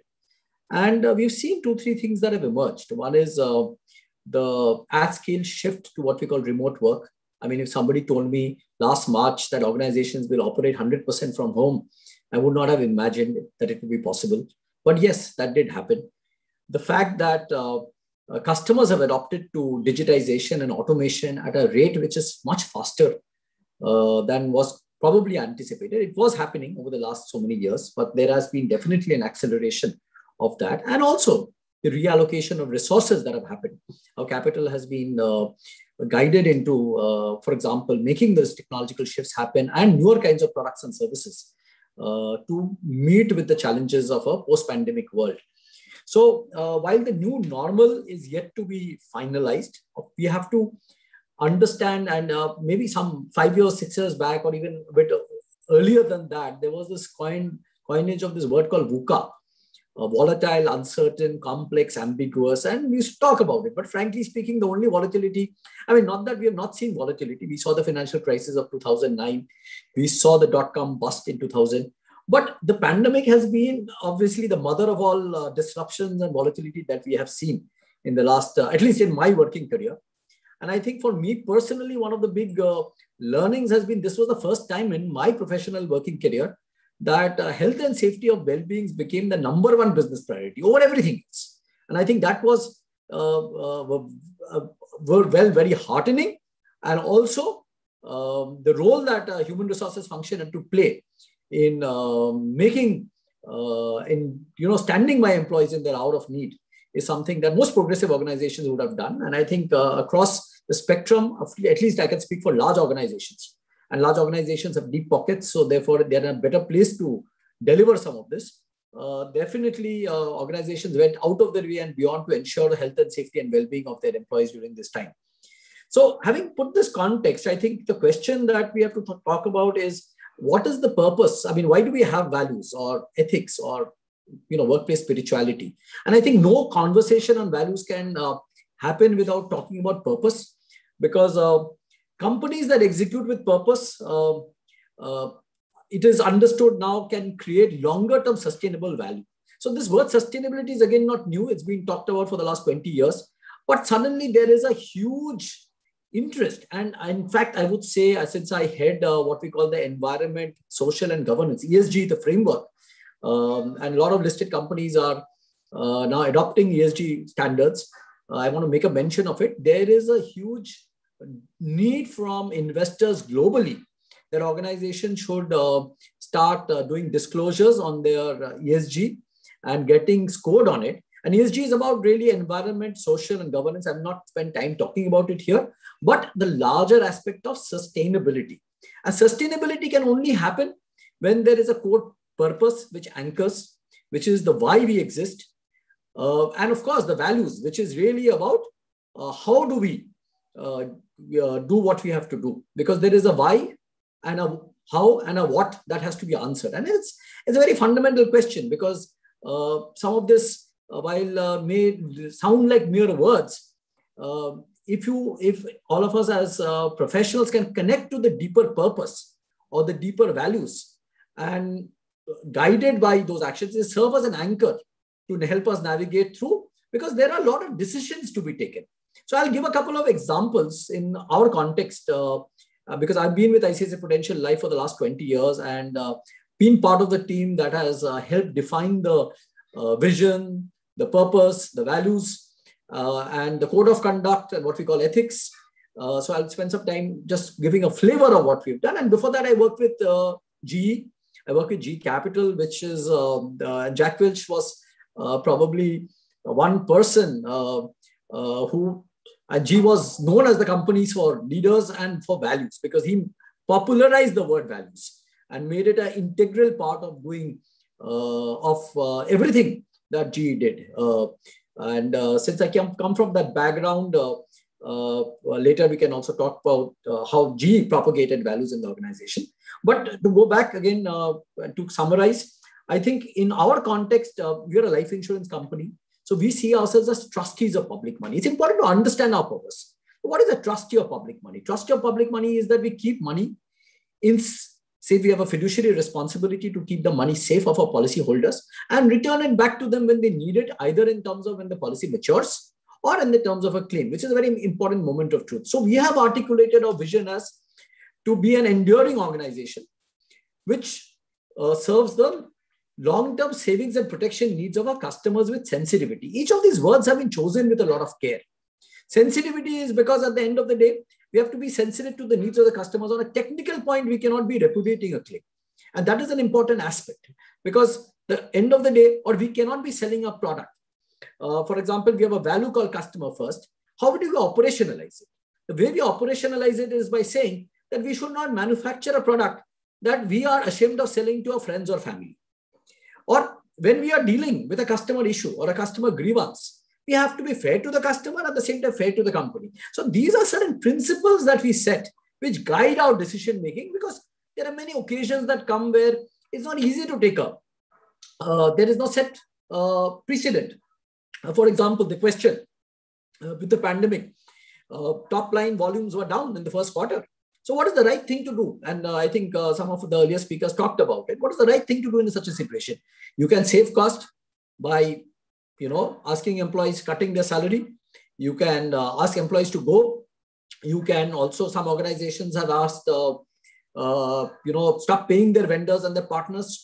In turn, therefore, they have to ask the employees to go. Is that the right thing to do? Because we have to understand that if you really want to be an enduring institution, then you have to also follow what are called sustainable practices that engender trust. And engender trust is not just with the employees alone, with customers, with the larger community and the stakeholders, which is the uh, triple bottom line that uh, Mr. Rao talked about. So I think I just give a flavor in terms of how the vision and the values of an organization can be intertwined very powerfully. And if you connect with it at a visceral level, at a deeper level, it also brings out the best in all of us. I mean, there is a very, uh, you know, uh, it's a very simple saying. And uh, so there was this mason who was building, laying bricks. And the question that was asked to him is, What are you doing? And the mason said that I'm building a mansion. So he had a vision, a larger purpose of being part of a bigger, bigger whole. And not just, he could have also said, I'm only laying a brick. So when you connect with the larger purpose, you also felt a sense of, uh, if I were to use the word motivation, to do something bigger, because all of us uh, would like our lives to, and it gives us meaning. And I think that's very powerful. Linking it back to ethics now, the way I look at it is that values are something that we encourage our employees to do we encourage our employees to live by. Uh, these are not, they're different from uh, what we call the code of conduct because the code of conduct clearly defines what is not acceptable and what will be capital punishment. So for example, a fraud. Fraud is obviously has to be met with capital punishment. That is very clear. There is the law of the land. Any violation of regulation, and we are a regulated entity, or a statutory violation will automatically meet an immediate penalty. So that is one part of it. But between the right thing to do and what is the wrong thing to do, there is always a bit of a gray zone.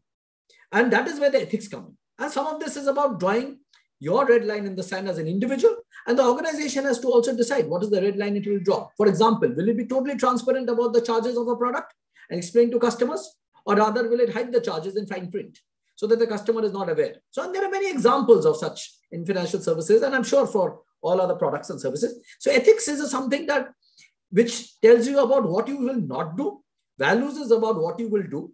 And the whole aspect of spirituality, as I see it, is really at a more, I mean, for more relevant from a senior management perspective, because the larger question I think that organizations have to, eh, senior management has to answer is, eh, is the organization a vehicle for their ambition or the institution comes first? If the institution comes first, all of us are technically then, we are servants of the institution. We have a role to play and we are trustees of the chair that we sit in. Because we have to also understand as professionals, we come and go, but the institution has to endure. An institution can only endure when organizations do the right thing. And I think the whole purpose, I mean, the whole uh, concept of having purpose, values, ethics, and uh, spirituality dovetails all of this together to anchor us into doing the right thing.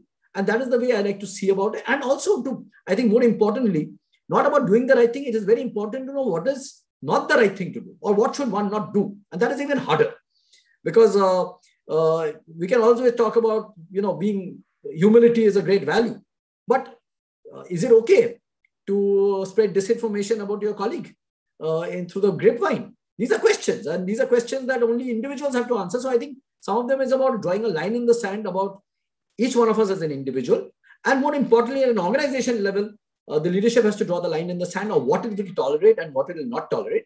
And of course, then there is the aspect of what we said, the, the, the legality of it all, which is uh, the law of the land. And of course, nobody has any dispute over that. But between the law of the land and the right thing, there is always a gray zone. And that is where it's very important to establish very strong principles of an ethics to make sure that, uh, therefore, the organization, because it's a slippery slope. And the closer you get to the red line, you may cross over the cliff. And that is the destruction of the organization. And that is what um, investors are also looking at. And the reason I'm saying investors are looking at because they're sitting with lots of capital and they want to make sure that they're investing in companies that are going to be sustainable.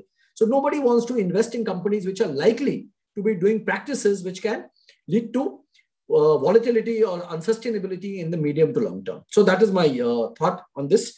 And uh, linking it back to the question of employee connect, Mr. Datta, as you said, if you are able to sharply articulate, and HR has a great role to play to sharply uh, articulate it, that creates a powerful sense of connect with employees, and that will spur deeper motivation. And there is a lot of research done by Daniel Pink, uh, where he talks about uh, the three drivers of motivation, which I resonate with, and there are of course lots of theories of motivation, and but uh, which talks about having a purpose, which talks about empowerment and autonomy. Uh, but purpose is fundamental because if you without purpose, uh, how do we make meaning of what we do? And uh, purpose without values, again, uh, uh, it does not have any meaning. So values and purpose, ethics, and workplace spirituality, in my mind, uh, are all intertwined, and they serve to connect with employees at a visceral level, and that brings in the discretionary effort, that extra effort to make sure that all of us then are making sure we operate as guardrails for the organization and ensure that we follow sustainable practices. So that is uh, uh, it's been a bit long, but thank you so much for this opportunity. But uh, hope I've been able to of course, of clarify. Course. Been very useful. Thank you. Thanks, Judith. Thank you. Uh, Dr. Banerjee, uh, you know, of course, uh, if you'll please share your thoughts on the topic, and also additionally, you know, sort of trying to use your experience, you have seen the transition, you know, from uh, in, insofar as the society is concerned, insofar as the corporates are concerned, you have seen the transition of awareness what it was. See, values, ethics, spirituality always operated. But in corporates and elsewhere, you have also seen this awareness growing. So, what are your thoughts also when you speak in terms of this growing awareness? As much as there, I suppose, is all, also a long way to go. Thank you.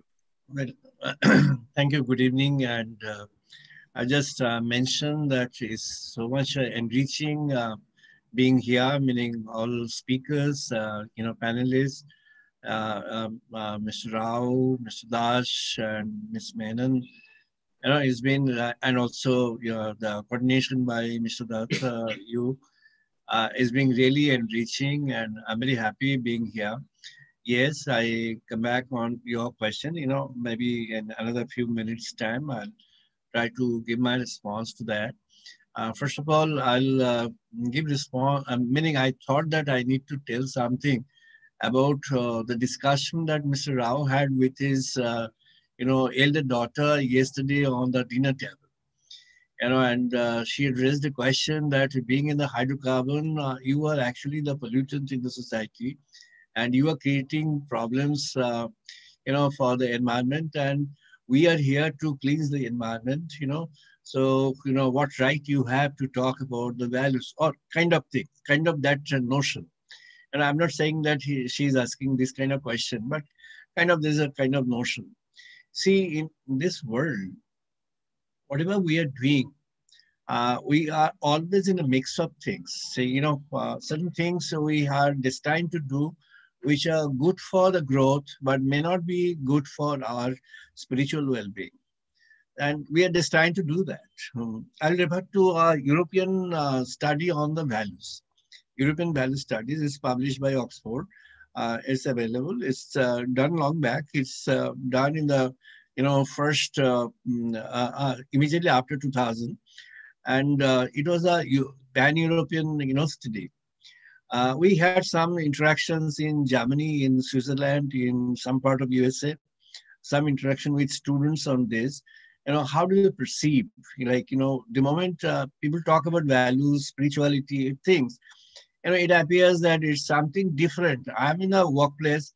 I'm doing something, I have a you know ambition, I have a career path, and that person is talking about values and that person is talking about spirituality. So should we, you know, mm, uh, uh, uh, you know that uh, you see, uh, uh, a different. I, I don't come under this. I, I don't put myself into that bracket. I'm different, you know, and this. So it's alienated. So kind of divergence created between that. European value study shows that there has been a gradual improvement uh, eh, towards understanding of spiritual values for you know day-to-day activities and day-to-day thought process and uh, the understanding is towards developing two parameters two factors one is you know uh, the factor of trust the other one is uh, you know the factor of integrity so one is trust and integrity uh, so we took part in, and uh, we were also, you know, uh, one of those movers in trust and trustworthiness. So we had a, you know, international program on trust factor. And uh, then uh, there, my objective was to tell people that, you know, trust factor is something which organizations can talk about. But, uh, you know, the trust factor has to be there. Unless there is a trustworthiness or to be trustworthy, kind of drive in mind present in people, trust as a factor can't be a dominant factor in the organizations. And uh, I guess uh, you know companies have come up to the level of developing trust factor as a dominant factor, particularly when you know you are disconnected. People are operating from home, you know, in the digital era, which I have given an emphasis in my latest book also. You know, uh, in the digital era, when you are not physically connected, when you don't get the warmth of or the smell of other person, the physical smell is present, and therefore what you're doing, you're, you have to bank on your mental framework, and that should be a guiding principle. Uh, there should be a guiding principle. What is a guiding principle? I talked about the goodness. Now, goodness can, if goodness is a guiding principle, how do I, you know, open myself to the spirit of goodness? If I develop the spirit of goodness, then I find then I see the good things in others. I understand the good prospects of others. People may have a good and bad combination of attributes. So I take the goodness of others. I take and I encourage the goodness. So I would suggest the corporate HR or the corporate top management to develop and devise some mechanism, term, ways and means, so that you know you understand the goodness could be something different from my work profile, something different from the assigned work or assigned attributes uh, required for the work. But again, some goodness is there present in a person, in a guy. So what you have to do is you put an emphasis, put an emphasis on that. And I guess uh, the companies have come up to this understanding throughout the world, particularly the Fortune 500 companies and Indian, you know, top 500 companies and other companies who are in the digital era. And the companies have come to the understanding that you know, faith in people is important. Trustworthiness uh, as a kind of attribute to be developed within uh, you know individuals, and it's becoming more important. So on one hand, the understanding of the requirement of spirituality in you know, you know, we talk about workplace spirituality. I believe unless the individual is spiritually oriented, there cannot be anything called workplace spirituality. That could be a workplace doctrines. That could be, you know, doctrines of spirituality. But if you have to establish the spirituality, for example, I'll tell, like in our Rig Vedas, there is a, uh, you know, uh, guideline for this. यतः वै इमानि भूतानि जायन्ते येन यतानि जीवन्ते यत् प्राण प्रविशन्ति तद् ब्रह्म meaning every individual who has uh, who is there present on earth or were present before or would be coming in future are actually the embodiment or a you know representative of the supreme divine called Brahman. And that means all the qualities of goodness are present in every individual. So when I find that the person is a mix of that, I need to find out, I need to understand that yes, the person has got that goodness within. Uh, what I have to do is I have to trigger off the, you know, elements which are good of the person, which are good for the society, which are good for the organization. And then I actually create a spiritual environment within the organization by bringing up for the goodness or elements of goodness, factors of goodness within the organization. And I see that the world is gradually proceeding forward that. I'm very, very, you know, emphatic on the young people being, you know, goodness oriented. I find uh, my students and students everywhere in the world. I've seen the students in uh, almost all different campuses in the world, in the western part, in the eastern part, in the you know European context, in Indian context, in many places. And you see, this young people are always vibrant with more of goodness than the mature people. You know, and uh, you know, the, with the simplicity in their mind, there is a you know attribute uh, suggested by Lord Krishna to Arjuna, and he said he mentioned that this is the best attribute to become a spiritually oriented person. If you want to understand divinity, then that is the that is the best attribute he had mentioned about this, you know, saying that Arjavam, Arjavam is a, you know, simplicity. Now, if the person is simply oriented, simple. Now, simplicity, what? You know, I, I need to become good. I need to become trustworthy to others. I can't deviate from the goodness and fairness. I should not, because, you know, I am destined to perform good, perform better, and I am destined to do better for others also before I do something better for me. So this is the kind of attitude we should bring in the workplace spirituality more intense than anything else. You know, uh, I believe that we can cultivate this. Uh, I have a concept called, you know, uh, the workplace, you know, sage. You know, workplace sage are those people who are actually cultivating the goodness uh, within themselves and across the organization and for the society. So you have to, a manager has to become a workplace sage, a rishi, a rishi in the organization, a rishi in the organization, a seer in the organization, a sage in the organization who does not only bank on the you know current realities and sees the future, sees the you know element of prophetism has to be there within the you know framework, within the personality of the workplace sage. And that element of prophetism would actually drive it forward and would actually make it a better place within the organization and in the society. So I'm very hopeful and I'm very positive in this. And I've got a lot of faith in the young people. And I, I find and I, I, I believe that these young people can actually revolutionize the society and the world by removing, you know, uh, the evils from the society, by, you know, uh, removing this, you know, corruption and other evils from the society, and then our society would be a better place to live in. We shall have a better organizations to work for. Thank you. Thanks a lot, sir. Thank you. Uh, some some really great insights. Thank you. Thanks. I checked with uh, CMA uh, because we started a bit late. We may overshoot 7:30 by some time. I hope hope uh, uh, that's okay. Uh, nevertheless, we'll we'll we'll keep that in mind and try to close ASAP. Uh, uh, if I if I may go to MVN, MVN, um, let me pose you a bit of a challenging question, which is, uh, you know, and, and you can respond to this in a general context, not with regard to a specific organization. So we have these situations of, you know, the marketplace and competition. And then when we are talking in terms of, you know, values, ethics, uh, so to say, and the marketplace and the demands that we have, you know, whether it is the CXO level down to the, you know, downstream organization.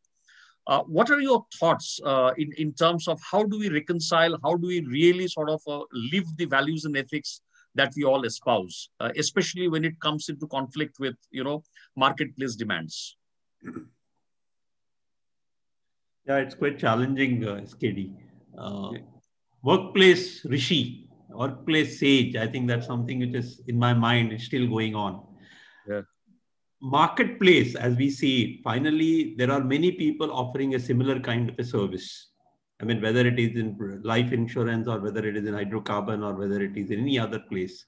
Ultimately, we realize that a particular corporations are able to sustain, renew, and continue to remain relevant and if you go deep into that, I think somewhere you always figure out that it is much more than actually what I call it as day to day capabilities, which are demonstrated by the people. I think people, when the human spirit rises beyond the resource level, and actually goes beyond and whatever uh, Dr. Banerjee was talking about, I think if you really look at it, when you look deep within, there are immense potential and capabilities which come out in the right kind of ecosystems. You always imagine, oh, this guy is not capable of doing, how did he manage it kind of a story. So you realize that the human spirit, when it is unleashed beyond the resource level, and that is where I believe superior execution takes place in organizations, number one. And number two, as I see it, is that yeah, you can cut a corner here and there and make a money here and there for a while. But I don't think, I think the, the stories of large corporations, what we have seen around, uh, what you talked about earlier when you started off with an example, and the bigger ones, they have been around for long periods of time. They've seen through lots of ups and downs and lots of business cycles.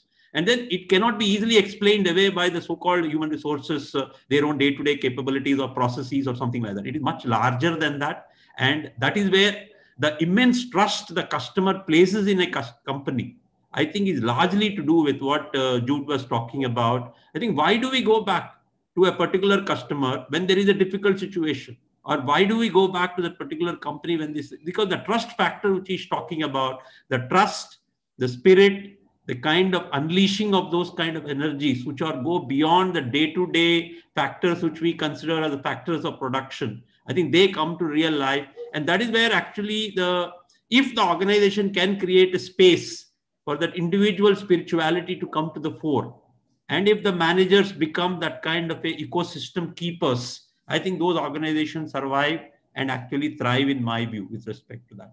I think that's the way I look at it. And at the core of all these things, as we see it, is that whether you call it spirituality is at the highest level and remaining ethical, what you talked about, what not to do, and actually values are what we will do things in a fashion on a long-term sustained basis, not to cut corners here and there for a day profit or a day's two profit, but at the same time, I am here for a purpose and I deliver on that on a consistent basis. I think a lot of organizations are there as examples around us, and they're consistently delivering that to all of us. I think that's my view on it. But it takes a lot of effort, as we rightly put it. I think it's the top management has got a huge responsibility, huge responsibility of laying the foundation for all these things so that a large section of the young people or the mature people find it a place where they can become and they be and also deliver both combined together as I see it. Very, very wonderfully expressed. Thank you. Thanks, thanks, MVN. Uh, uh, Pallavi, uh, another sort of, you know, uh, slightly uh, challenging question to you, which is that, you know, I mean, uh, values, uh, there, there is a set of core values typically, and I'm saying this more as a practice rather than, you know, something which is there carved on stone.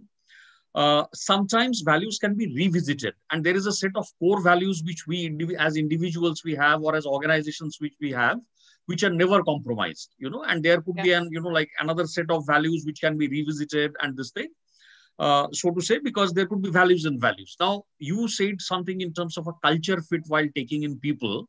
And there are, as you would know, that there are two schools of thought. So one says that, okay, always ensure that, you know, when you hire people, there should be a culture fit. And then you have another school of thought which says that it actually impedes, uh, uh, you know, organizational growth, innovation, diversity, so on and so forth. Absolutely. So, so even in the context of ethics, because you see, moral principles, if we take this discussion a little deeper, what constitutes morality, the way we see it, you know, uh, sort of may not be seen by someone else, so to say. So, how do you sort of harmonize this apparent conflict in a in a workplace scenario? Okay, that's quite a bouncer. Let me uh, try to do justice to that. Uh, and this is this, this could be a very personal, you know, observation and feedback also. Now, what we have been observing uh, lately, and of course, recent times, is a uh, that quite a few business leaders find it very alarming. And uh, there's a lot of rise in accusations to the organizations of unethical practices and so on, right? We hear of uh, increasing um, mess in the stock market manipulation. There's a disregard of environmental hazards. There's bribery and kickbacks and so on. Now, a lot of these things of do's and don'ts and what's right and wrong these concepts are put in the you know code of conduct and your ethics and your you know trainings etc But at the end of the day, there's something which is way beyond this is also the aspect of managing one's own self your own personal values. I mean, how much of it can be trained and the awareness created and so on. And very rightly, you also mentioned that it's a two edged sword, right? When you're looking at a select in terms of cultural fitment or a value system, uh, the whole inclusion piece and diversity in opinions. Um, some people even say that you, uh, you know, if what if the hiring manager has a very toxic uh, mentality or he or she is not ethical, you would kind of end up taking the like-minded people if you're looking at fitment accordingly. So that's a, you know, different parameter of discussion.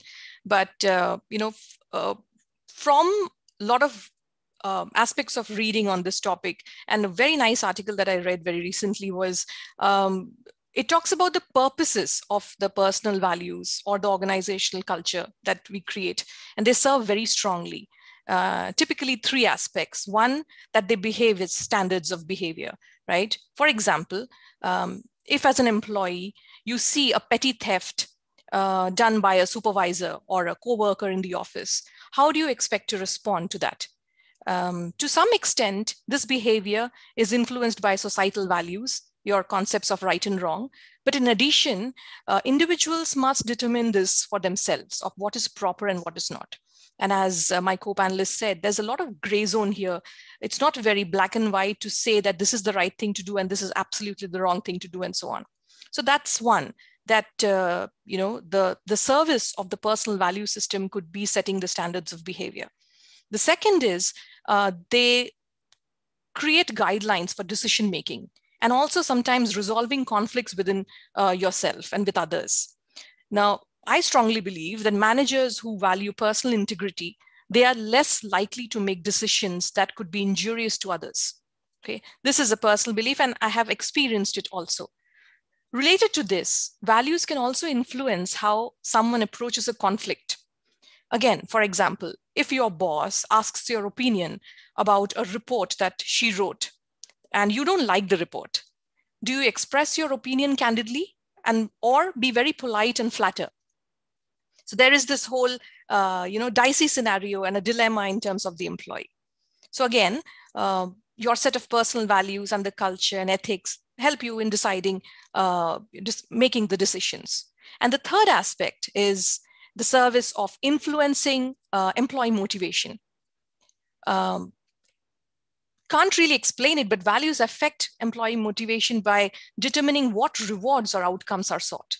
Just a simple example, quite a few organizations have that employees are often offered overtime work, right? An opportunity to make more money at the expense of their free time and time with their families. Now, as an employee, which would you choose? Uh, would you work harder to get a promotion and take up possibly a more stressful job? Or have a laid back and accept a slower and possibly less rewarding career path? I'm sure I'm preaching to the choir, but nevertheless, you know, some of the examples of workplace values and ethics we talk about are, you know, basic stuff, as many of uh, the people said, uh, humility, respect for others, the basic fact that rules and regulations ought to be common and same for everyone. Company policies be communicated clearly to each and every one. Inclusion, you know, sustainability, uh, taking care of employees, and listening to external and internal customers, having a compliant um, culture of no discrimination, no conflict of interest, no harassment, no manipulation. The list is endless. And to achieve all of this, uh, organizations have uh, audits, compliance trainings, um, overall awareness. There's a support system for people having ethical dilemmas. Uh, you have a speak up avenue and so on. But a very important factor is also having leadership and managers who lead by example. If you have the right kind of leadership, it really brings in the value. Okay, uh, Mr. Rao just mentioned a great point about um, how do you see uh, companies sustain and improve and still go on, uh, and what's the role of trust and you know uh, the image of the brand in front of others. It just triggered my usual communication and discussion with my business head when he communicates that uh, we are not, uh, you know, price leaders in the market. Our uh, equipment is pretty expensive, but we are still one of the leaders in the market because of the precision, uh, the accuracy, the customer service that we provide, the trust that the customers have in us, and so on. So there's a huge difference that the value system and uh, the overall ethics and you know and spirituality brings to an organization. Thank you, Pallavi. You handled that very well. As much as you said, it was a bouncer. Thank Hope you. so. Thanks. Thanks. Absolutely. Uh, uh, Judhajit, um, couple of things. One is, you know, I mean, when we talk in terms of values, ethics, uh, and and we've also discussed this that at times this can sound a little fuzzy, etc. Right? So how do we sort of demystify this in the context of an organization and really because it just can't be the policy book or you know the code of conduct, so to say. So in a very simple way where people can relate, how do we sort of percolate this down in an organization where people live this, you know, practice this and live this is one. And an ancillary question to that is you have, uh, you know, served organizations uh, uh, uh for long stints and you are in your current organization and hopefully you will, you know, uh, uh, continue for long. so, you know, for, for many years. Now, has that sort of helped you as a leader to influence outcomes better? even in the context of let's say even ethics and values or anything for that matter so so one is generally how do you do that and the other is the ancillary question thanks yeah thank you Shautrata. i mean it's an interesting question uh, but i hope to retire from ICICI but i don't know uh, of course uh, but uh, that's still some time away um, so yes, I mean, I think uh, we made the point that ultimately we have to understand as senior leaders, everybody is watching us and uh, every day we are being watched. And so, what are values? Values, and we talk about the, you know, the iceberg model where eight ninths are under the sea and one ninth is above the surface, right? So, what is observable is behavior. And the basic premise that we make is that uh, values drive behavior and behavior drives results. The how is important. If you were to say, and why is how imp important? Because at the end of the day, people expect consistency. Uh, my from my HR perspective, I think my learning over the last so many years of my working life is the biggest. If you flip around, or rather, if you don't ask the question what motivates people, but what demotivates people, uh, definitely what demotivates people is perceived unfairness or perceived inequity. That something somebody got and somebody did not get because there's no rules, it's discretion, right? So the moment you put in rules, moment you put in norms, moment you put in policies, moment you put in processes, what are you doing is limiting excess. That doesn't mean the organizations have to necessarily follow all norms, policies, because you cannot anticipate every situation where you have to go by the rule book because then you become a bureaucratic organization. And organizations also need to adapt, be agile, and there are certain things which have to go beyond uh, the rule book. Because at the end of the day in the larger interest or the larger interest of values if you say if sensitivity to customers is important i mean i'll give you a classic case as an example in terms of operationalizing. There was this lady who actually had a term policy with us a customer and this lady had lapsed her term policy and bought a new term policy because you know prices uh, also fall over a period of time and uh, she bought that new policy now the problem is six months of buying the policy she had cancer now there is an exclusion period for a waiting period for a new policy so technically, we would have been absolutely within our rules to dishonor the claim. And nobody, in a, it would have been an open and shut case and from a uh, legal perspective. But at the end of the day, what is the right thing to do? Right? Do you, uh, if somebody has cancer, uh, do you and the person actually bought a policy and in six months had cancer? Because if the person had continued with the policy, we would have paid the claim. Right?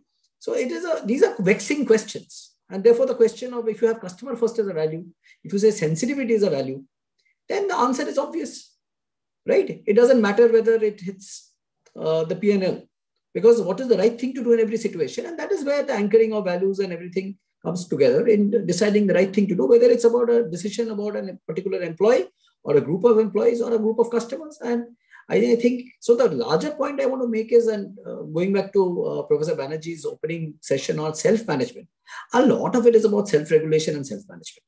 Because at the end of the day, who controls the CEO? Who controls the CXO?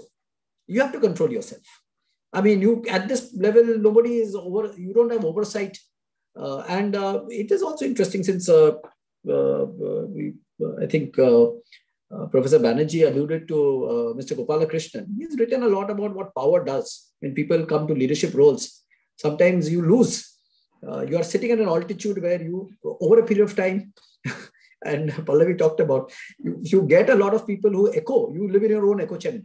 So what is reality and what is uh, is very difficult to decipher. So it's very important to feel connected, be grounded, and those are things that organizations, I think it's the job of leadership because at the end of the day, you cannot blame anybody else but yourself. And um, uh, so uh, my, my, these would be my thoughts. And uh, going back to the first question in terms of how do you propagate it, I think you have to do it through stories. You do it through examples, through behaviors. There are various tools. Um, rewards and recognition, GE used a lot of that. Uh, so part of the thing, and I, I'm talking about GE because um, uh, the moment we used to say, are you GEized? And GEIs meant that you live the values of GE for an HR profession. And so you have to, so at every orientation program, new hire orientation, we would talk about the values. And you have to exemplify the values. So HR becomes the custodian of values. And everything that you do, whether you hire people, fire people, uh, promote people, uh, reward people, recognize people, it's intertwined in all your HR processes. Because at the end of the day, you cannot have one process saying doing one thing, the other process. The alignment across all processes become very important. And then it becomes self-fulfilling right? Now, I've also seen the excess of it when sometimes values have been used. So my only caution about values uh, would be that it should not be used to punish. Uh, because uh, ultimately values in my mind, you are punished for crossing the red line. But for values should be encouraging. That is my personal belief. And uh, having seen many organizations and seen my organization, values are something you have to encouraging people to do, do the right thing, uh, you obviously punish for doing the wrong thing. But you cannot be penalizing people for not doing the right thing enough. It's very difficult to quantify. And uh, you have selective evidence, and their critical incidents are only few and far between to take big decisions uh, only about people's careers and about people's lives based on one or two examples. So that is my uh, view. Uh, and GE did a marvelous example of propagating the values. But again, there is also a bit of, I would caution that it cannot also become cult-like uh, there is um, there up to a point uh, people should believe in it. They should resonate with it. But if it becomes a cult it has its own set of uh, uh you know everything has a everything everything has a consequence. So i think we have to be very careful about what is the consequence we're expecting. Absolutely. Thank you. Thanks thank you uh, dr banerjee a quick question which is uh, if you could just highlight you know what is the role that an educational institution can play in uh, sort of creating and uh, spreading the awareness of values, ethics, and spirituality more and more uh, in, in, in the society at large, as also, you know, like in the corporates, uh, etc. Well, actually, you find that, you know, uh, values and ethics was never a part of the curriculum, let's say, you know, 30 years ago. Uh, in between, you know, the last 30 years and 25 years, you know, it was started it all began in the eastern region of the country and uh, you know gradually it has been adopted by the national institutions universities institutions colleges even schools at every level and uh, you know this uh, values and ethics is something which cannot be really taught you know is something which should come from within what you can do, we can sensitize that as a teacher or in a teaching or in a learning context. You know, this is what the companies are also doing in their learning centers or the training centers and development centers. And the institutions uh, which are offering academics and, uh, you know, learning to the, you know, young people, young stars, uh, what they have done is uh, now UGC and uh, even it's, it's global. Now, uh, let's not mention about only Indian regulatories, it's now globally present. Everywhere now ethics and values has become a part of the curriculum, be it a you know technology curriculum, a science curriculum, or a humanities, or a business professional of any kind. Everywhere now an element of that is there.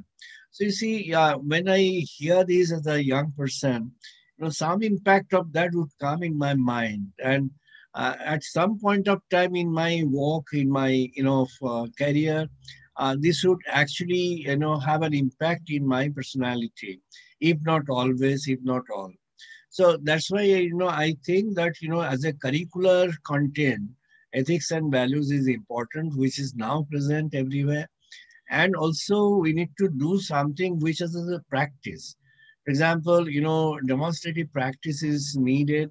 We do in our classroom also, you know, the practice, you know, uh, and but then that is not a compulsory practice. You know, those who are willing, they can take part in the practice. Those who are not, they can't. They should not. They are not, you know, there is no compulsion.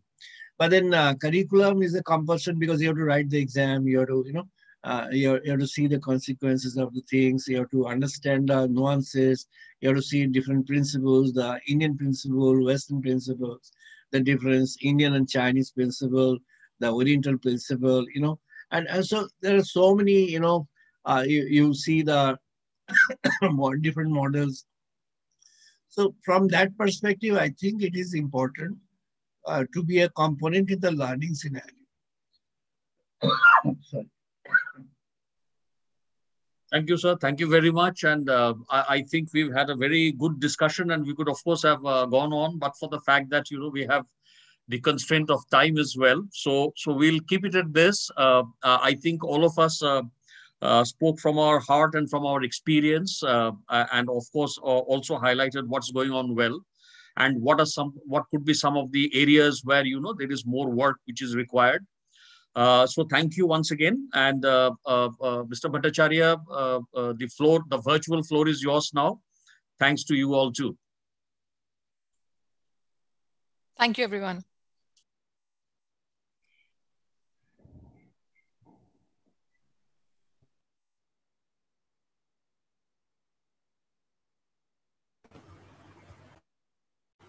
Uh, thank you. Thank you, Mr. Dutt. Uh, it seems today is my bad day. It's, uh, now my, my camera is uh, declining to start. It's a really bad day for me. I, uh, I, before I hand over to Mr. Vibhor Tandon, who has already joined us, Mr. May I request Mr. Tandon to please switch on your camera, and I hope that it's working. All right. uh, so it's a very bad day for me. I'm sorry. Uh, I, I, apologize to Dr. Banerjee this these kind of technical glitches that has happened to Dr. Mr. Dutt for missing out on the pen profile and leaving your profile red in half. Uh, but thanks to all of you, it was a very, very involving session. It was very interesting to go through the session. Uh, may I now request Mr. Tandon?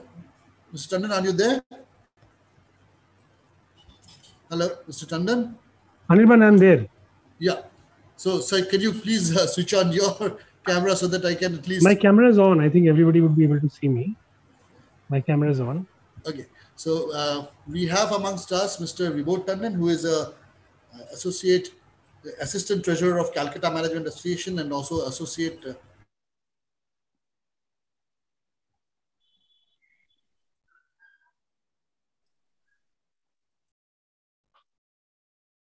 I think uh, Anirban went offline for some reason, probably connectivity. So good evening, uh, everybody. It is a pleasure to talk to you on this occasion. It is in fact a pleasure to part of this uh, great initiative uh, by CMA and EIILM, where it was a webinar on self-management, probably one of the most important aspects of personal and professional life. Because we have seen people from across the works of life when I've taken classes on different subjects such as personal transformation, having seen people from different walks of life, mm. be professionals, corporate professionals, entrepreneurs, sports people, musicians, medical professionals, the only and only difference we find between one and the other person, between the capabilities that one has and the other, between how successful one is and the other one, is how they are able to manage themselves. And most of these are personal capabilities. Most of the difference is based on how well they manage themselves. And I believe that it was perhaps one of the most significant subjects to be covered by the, uh, by the speakers and the participants today. I am really glad and I take this opportunity to extend my gratitude and thanks to the revered speakers. Uh, we have had the likes of Mr. Rao, who is the head of uh, HR at uh, at L&T Hydrocarbon, Mr.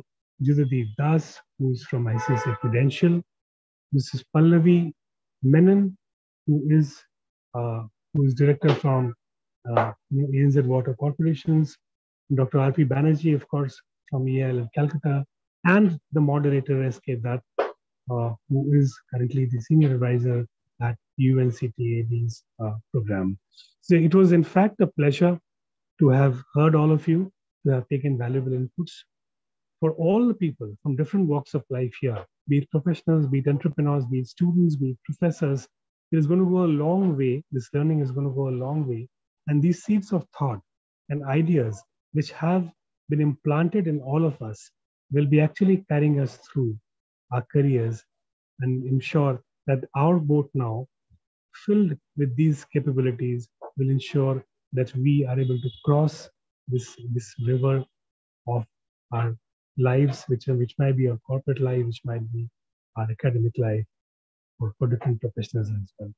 So a very big thanks uh, and I extend my gratitude to all of you for taking out the time uh, and enlightened all of us on this very, very important subject, which is the core of success for everybody in every profession. So thank you very much, uh, gentlemen and ladies. Thank you so much, uh, CMA Secretary, to have organized this program.